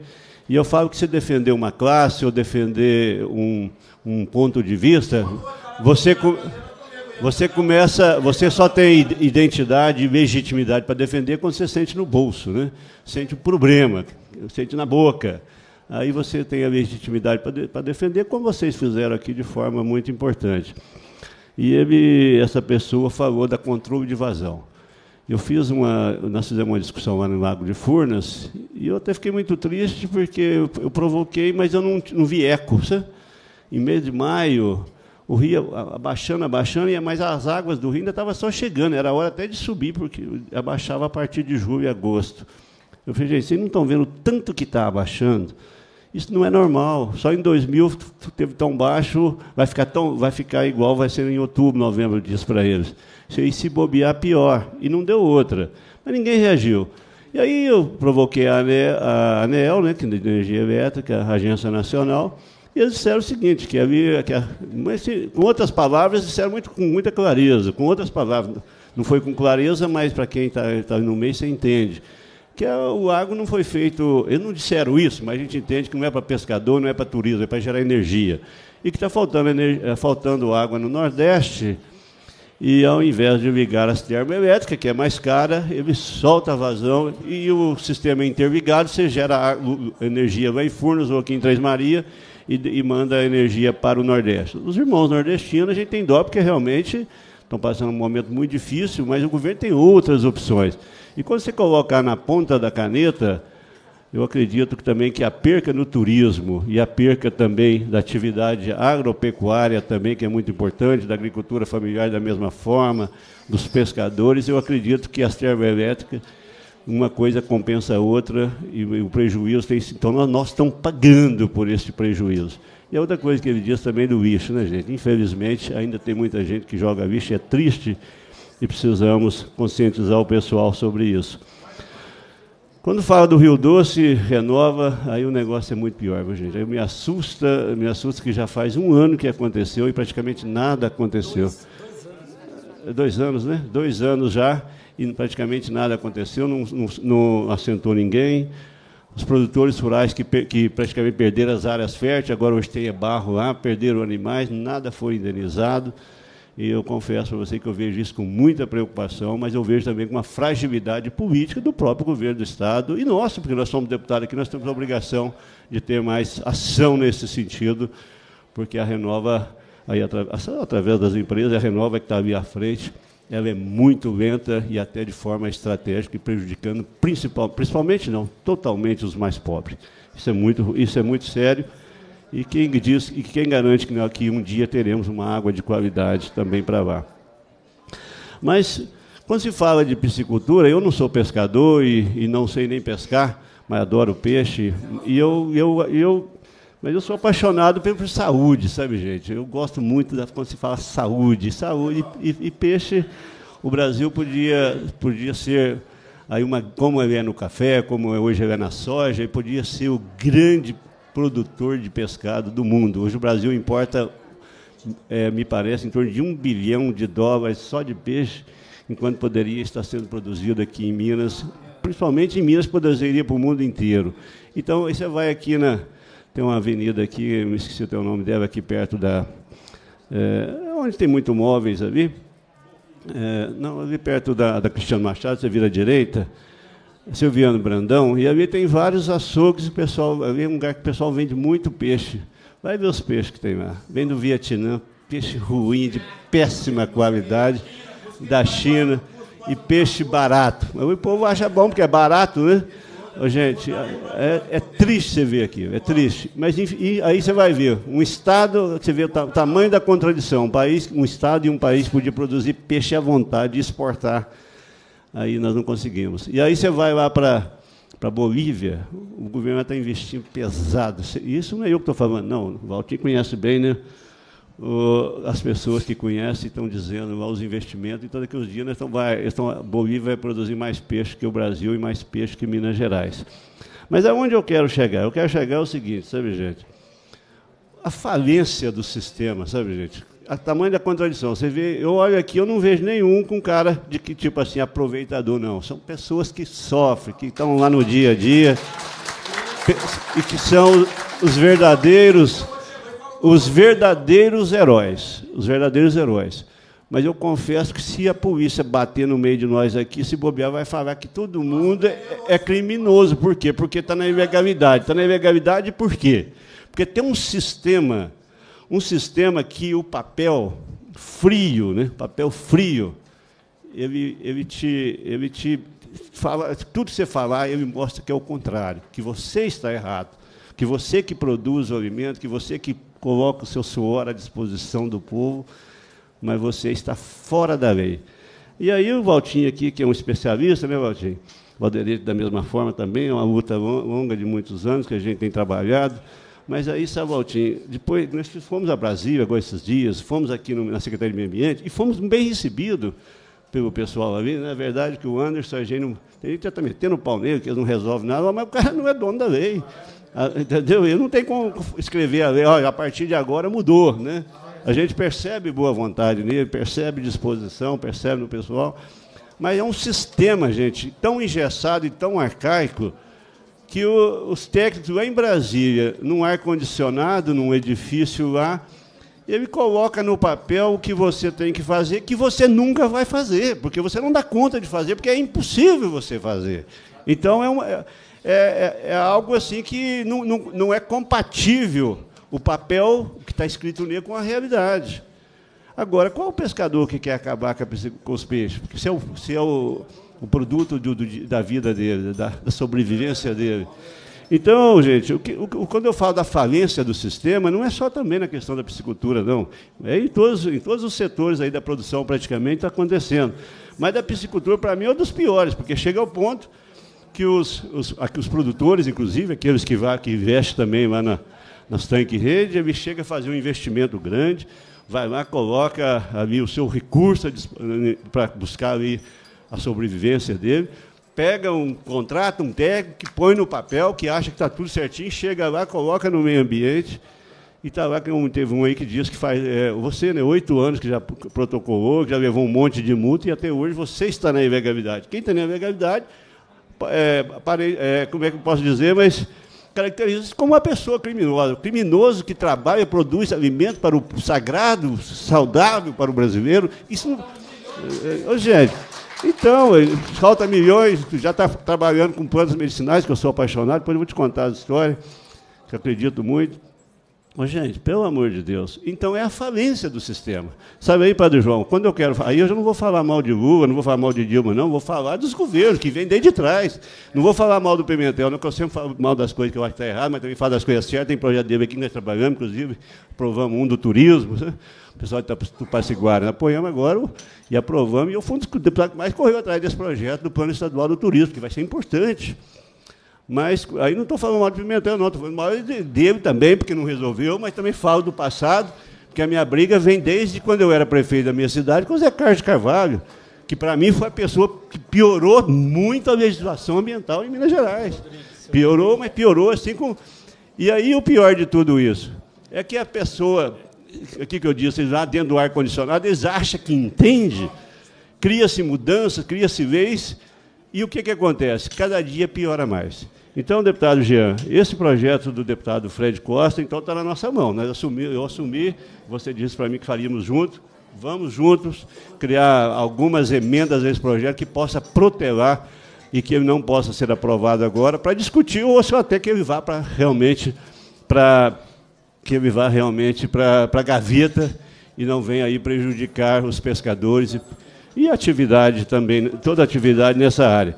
Mas, ao mesmo tempo, gente, eu confesso para vocês, sabe, Baltinho, você que está participando dessas reuniões todas conosco, e já teve, inclusive, em Brasília, percebi o tanto que ele é querido em Brasília, pelo pessoal que conhece da área, mas nós, se quisermos, se quisermos, dar proteção para vocês, apoio para vocês, nós vamos ter que mobilizar, e viu, Padre João, isso é fundamental tem que ser uma pressão muito forte para criar ações concretas, concretas de forma que mexa-se em legislação, mas mexa também em estrutura, para que a hora que chegar lá em Brasília, a gente fala com o dono dos boi, pessoa que tem poder de caneta para resolver. É, porque é impossível, da forma que eu disse, cria-se um emaranhado de leis, cria-se um emaranhado de programas, e vocês, que têm a mão calejada, que têm aí a, a, conhece o dia a dia, vive o dia a dia, são usados muitas vezes por malandros, como aconteceu aqui em Cristais, mais de 400 pesca, é, pescadores pegando o seguro defeso, e só tinha cinco que realmente eram. Quer dizer, são pessoas formadas, pessoas sitiantes, pessoas que têm condições financeiras, mais de 400. Quer dizer, mais de 90% dos pessoal que está recebendo seguro defeso eram pessoas, era fraude. E essa, aí, aí, resultado. Aí o governo, não, tem que mexer porque tem muita fraude. Tem em Brasília, tinha 38 mil pescadores só lá no, no Lago Paranoá. Não tem um. E aí quem é que paga a conta? É vocês. Vocês é que pagam a conta. Então, deputado Jean Frei, conte comigo. Tamo junto, meu Valtinho. Você nos oriente, tenho muita esperança, eu tenho muita confiança com você, a Valerie também. E, vamos junto. Conte conosco, muito obrigado. Muito obrigado, deputado Antônio Arantes. Agora, encaminhando para nossas considerações, eu passo a fala a Isabela Rezende. Eu peço para a gente ser bem rápido nas considerações aqui, tá? Grande Eu quero eu quero mesmo agradecer a presença de todo mundo e a oportunidade de escutar as pescadoras e os pescadores.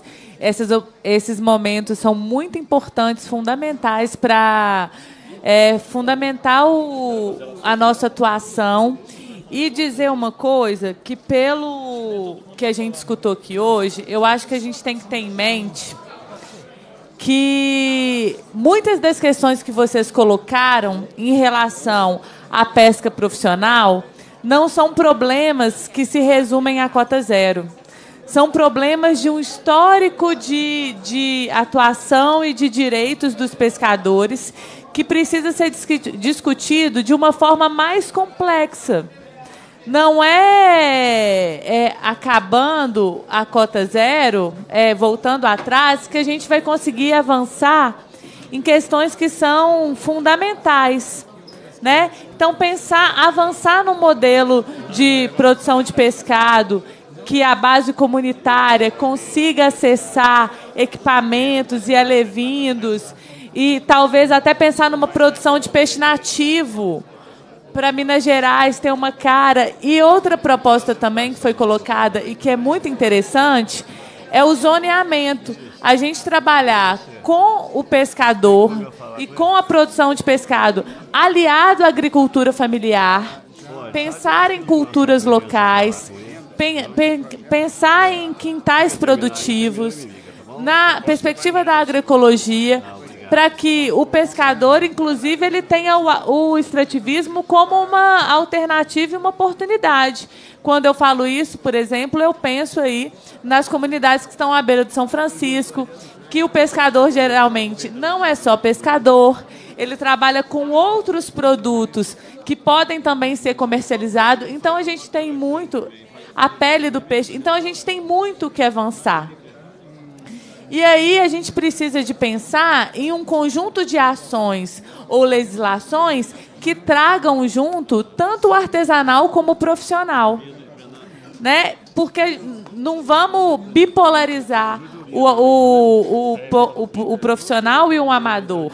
Eu acho que todo mundo depende do rio.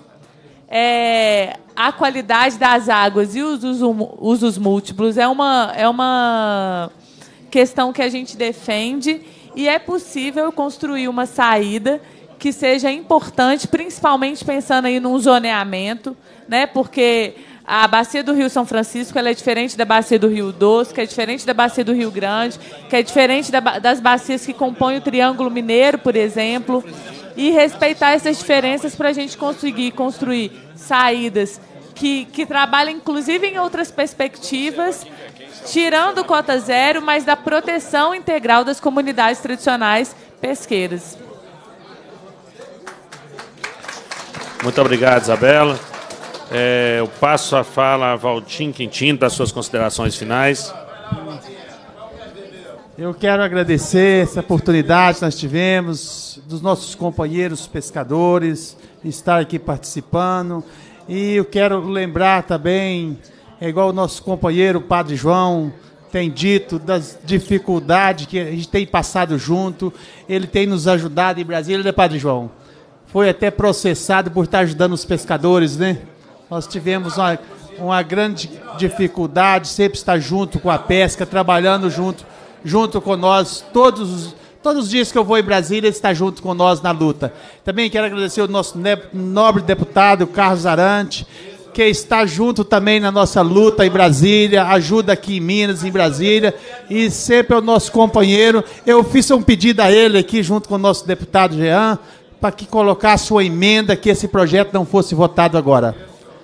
Ele não pensou duas vezes, conversou com o nosso nobre deputado, eles concordaram de colocar uma emenda e para nós rever a questão desse projeto. Nós precisamos de estar unido com a pesca amadora, os profissionais, sempre junto, trabalhando junto. E com o apoio deles nós vamos conseguir mais essa vitória. Quero agradecer pelo esse momento, que Deus abençoe a todos, que foi muito bem proveitosa a nossa vinda aqui nessa audiência pública. Muito obrigado a todos. Muito obrigado, Valtim. Para suas considerações, a companheira Vanessa. Vou ser breve. É, termino com- parabenizando aqui o deputado Jean novamente, todos à mesa, destacando também o deputado Arantes aqui, que sempre esteve a favor da piscicultura, eh, dos pescadores. Mas, deputado Jean, essa audiência pública foi primordial para eh, levar essas reivindicações. Eh, eu só faço questão de terminar é, eu ouvi aqui é, do, do parlamentar anterior que Goiás, o estado de Goiás, por proibir a pesca, é um exemplo. E eu, à época, estava é, atuando no Ministério da Pesca, e essa discussão da proibição da pesca no estado de Goiás era uma problemática discutida no país inteiro e não é exemplo para ninguém. Proibição da pesca é desemprego e é deixar a população que mais precisa do Estado com mais dificuldade ainda. Então, acho que a discussão e a valorização do meio ambiente dessa categoria é mais importante nesse momento do que propor ações que limitem a, a condição dessas pessoas de pescar. Independente do projeto estar sendo discutido somente para amador, eu acho que a Joyce falou muito bem. Hoje é para amador, amanhã é para todo mundo, porque a justificativa fala em estoque pesqueiro. Qual é o estudo que se fala de estoque pesqueiro é, e, e dessa dificuldade? E isso vai ser utilizado contra essa população e a gente não concorda com isso. Obrigada. Obrigado, Vanessa. Para suas considerações, Ariovaldo Teixeira, presidente da Colônia de Pescadores de Almenara. Isso. Oi, gente. Eu quero deixar com vocês aqui, né, tipo um, um convite. Agora eu vou falar como militante do movimento social. Eu acho que nós estamos muito acomodados com a situação que está acontecendo. Está acontecendo a, nossas, a nossa volta e nós estamos aí bem sossegados, não faz nada. Eu acho só na base da pressão que as coisas vão andar. Se as coisas não andarem daqui para frente, vamos ficar o convite aqui, ó, para nós partir para o ataque e, se for possível, para Brasília lutar os direitos dos pescadores, tá bom? É um convite do MAB, Movimento Social, muito bem respeitado pelo Estado de Minas Gerais no Brasil, tá bom? Muito obrigado a vocês. Muito obrigado. Para suas considerações, o companheiro Padre João. Foi mais aqui o companheiro colocou em relação à bacia do Rio Doce. Veja bem, já por duas vezes, é, todos os órgãos sabem da mortandade de peixe de último que teve agora também. Porque chegou para mim e eu já encaminhei. Seja em arquivos digitalizado e impresso. Então, o IBAMA sabe, a Polícia Ambiental sabe e o Ministério Público sabe. Eles já têm, inclusive dessa que ocorreu em pessoal do Rio Doce, e, e para mim foi surpreendente, porque nessa mortandade de peixe que teve na última semana de novembro, dois anos depois do crime da Samarco, da Vale e da BHP Bíritos, já tinha peixe desse tamanho. Não porque eles sobreviveram no Rio Doce, mas porque das outras microbacias que caíram no Rio Doce. Quando veio a chuva, revirou a lama de novo e mataram os peixes. Então foram toneladas de peixe mortos agora, uh, doutor Jean, na última semana de novembro. O Ministério Público sabe, a Polícia Ambiental sabe e o IBAMA sabe. Então, é, por falta de acionar, não é. Agora os órgãos têm que atuar. Tem que atuar. E é lamentável, porque não atuam em relação aos verdadeiros criminosos, que é a Samarco, a Vale e a BHP Bíritos, que inclusive a Justiça Federal já quase que absolveu. Quase que absolveu. Agora, o inquérito, o inquérito contra os pescadores está lá. A Polícia Civil com 300 pescadores, que é o inquérito. Contra 300 pescadores. Então, este é o problema que tem. E aí, acho que o apelo, companheiros, fica nesse sentido, de que tem que estar organizados, mobilizados e atentos ao que passa, tanto no executivo, no legislativo. E quem sabe o mutirão, aqui é mais uma provocação em relação, talvez seja necessário um mutirão dos pescadores para pegar as traíras. Que às vezes, eliminando algumas traíras exóticas que estão por aí, aí resolve o problema. Obrigado. Muito obrigado, Padre João. Bem, companheiros, primeiro eu gostaria de agradecer a vocês e, como eu disse, e parece que foi dito aqui antes, né, da minha presença, é, que não estava sabendo nada desse projeto. Olha, é, no final dessa audiência deu para aprender muito.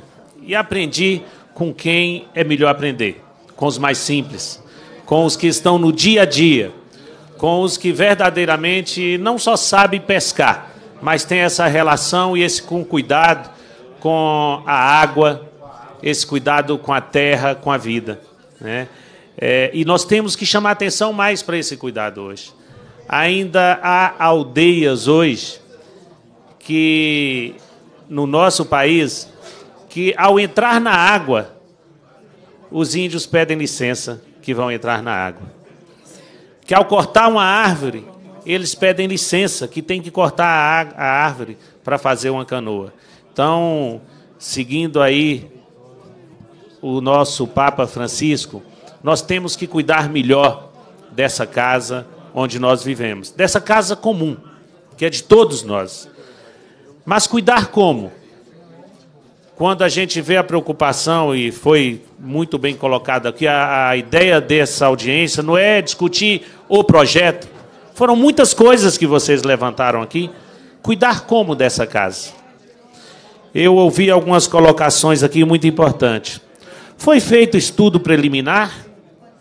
A companheira, se eu não me engano, Ellen, colocou uma questão, e aí deu para eu aprender muito aqui a solidariedade de vocês. O padre João dizia aqui ao meu lado: os pobres sempre são mais solidários. Sempre são mais solidários. E vocês, pescadores, e vocês, pescadores, estão aqui, eu ouvi de muito de vocês defendendo que o amador possa também levar a sua pesca. Aliás, quantos não têm a carteira e, na verdade, na prática são profissionais, mas não têm a carteira, né? Por, porque foi embargado, é, porque não está fazendo, por vários motivos, e esse também não pode levar para casa. E quantos têm a carteira e que não deveriam ter a carteira? Então tem que fazer um, um estudo mais amplo. Né? Olha, eu não sou pescador. E não sou filho de pescador também, não. Mas, mas gosto do peixe. Mas sou filho de um trabalhador rural e de uma trabalhadora rural. Mas deu para perceber muito aqui esse sentimento de vocês. E eu que não sou pescador, fiquei, peraí, mas não teria que fazer um estudo por bacias? Será que é, em uma bacia pode ter uma cota maior para levar, em outra não? Ou em algum momento do ano pode ter ou não? Ou em algum evento, né? Porque se a gente for olhar não o acidente, o crime que houve em Mariana, né? Naquele momento não tinha nem se colocar as cotas zero, não adiantava, porque não tem peixe nenhum, né? Não tinha peixe nenhum. Aliás, eu convido a vocês a entrar no site da Assembleia e pesquisar sobre um projeto de minha autoria para tornar o Rio Santo Antônio em preservação permanente. Porque o Rio Santo Antônio tem hoje por volta de 70% das espécies que tinha no Rio Doce. Então, se a gente tornar ele Santo Antônio de preservação permanente, é, nós vamos estar gerando mais vidas no, no Rio Doce. É, a questão do registro que está suspenso, né? Colocaram aqui, nós estamos fazendo alguns requerimentos para encaminhar a que, questão da mortandade de peixes. Né? Por que não se questiona quantos peixes morrem nas usinas, como a companheira Sandra colocou aqui? Ou por falta do elevador, ou por ineficiência do elevador. E aí?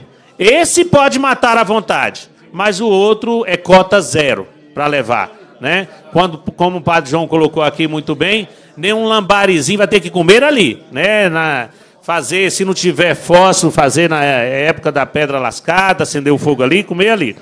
Então nós temos que debater mais, ir adiante, eu acho. Eu não sei, e o deputado Antônio Arantes já me passou uma notícia aqui, né? Não muito boa, mas que dá, talvez que o colega não está querendo permanecer com o projeto, mas nós vamos dialogar com ele. É, não é ir pro, nós não estamos a fim de ir para o embate, não é esse, não vamos usar esse termo. Nós vamos dialogar com ele e vamos usar todos os métodos dentro da legalidade para discutir mais esse projeto, para formar um grupo de trabalho, como foi proposto aqui pela Vanessa, e discutir e fazer é nossa função legislar, fazer leis, mas que vêm de encontro ao povo. Eu costumo, mesmo quando a gente tem uma ideia de fazer um projeto, antes dele dar encaminhamento, chamar as pessoas, ou ir até onde as pessoas estão para ouvir, para que o projeto chegue no plenário bem moldado, bem é, mais construído. Nós, deputados, não fomos eleitos para fazer para vocês. Nós somos eleitos para fazer com vocês. Essa é a diferença fundamental.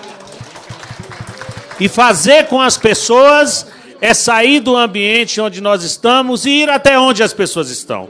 É chamar as pessoas para vir aqui.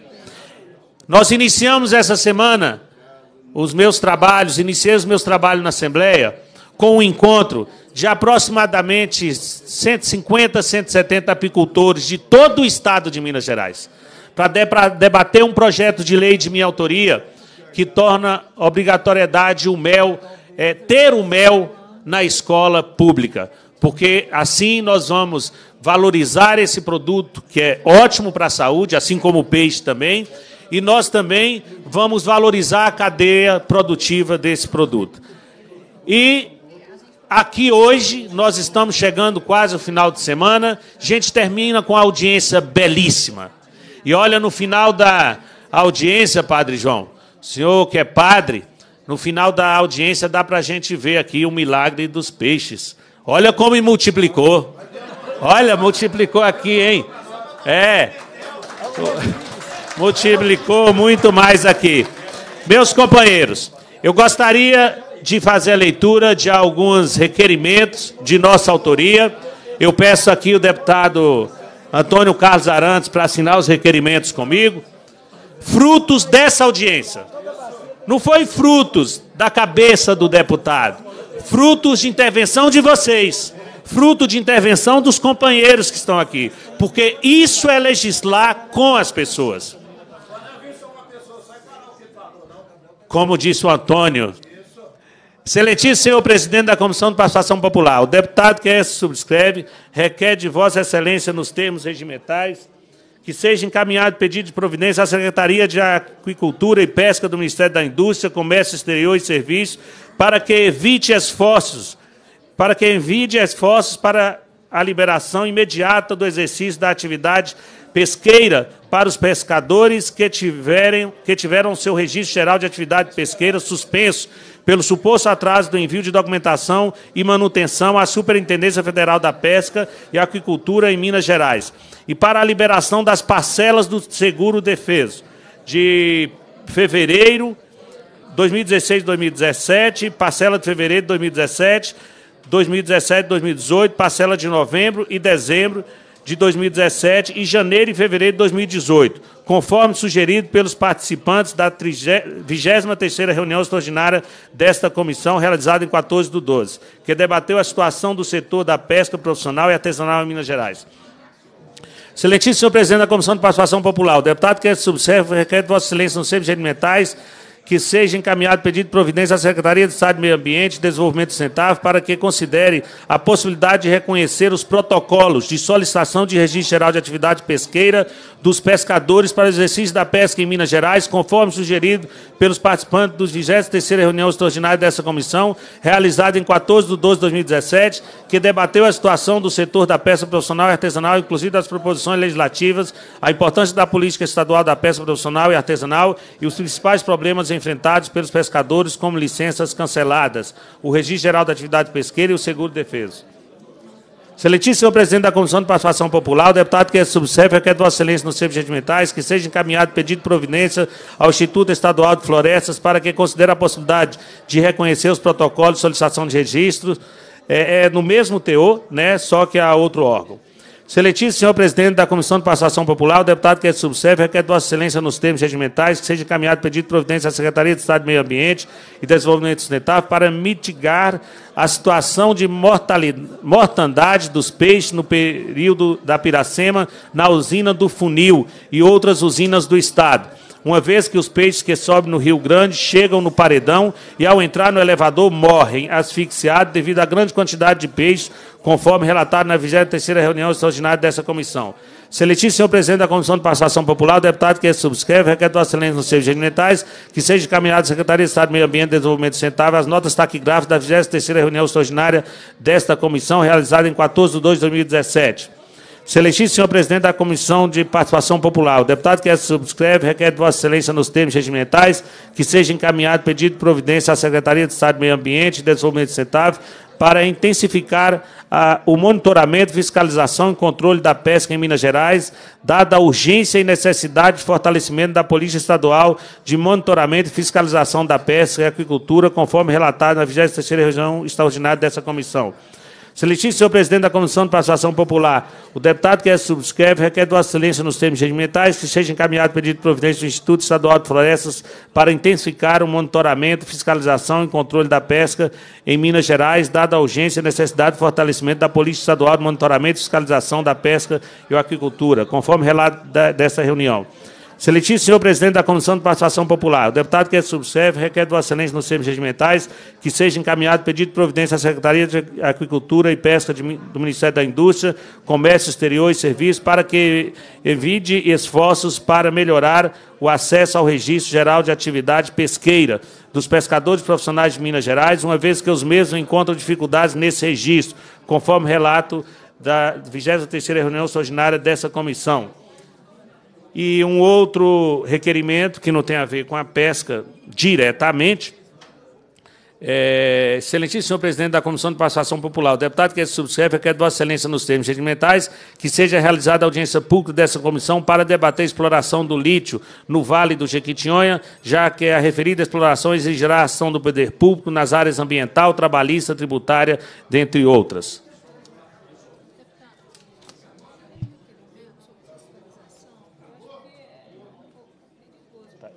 só vai ficar aí. Pode ler aqui. Meus amigos, o meu muito obrigado pela presença de todos vocês. Que voltem em paz para casa, em segurança. Cumprindo a finalidade da reunião, a presidência agradece a presença dos parlamentares, dos convidados, de todos os pescadores. Convoca os membros para a próxima reunião ordinária e determina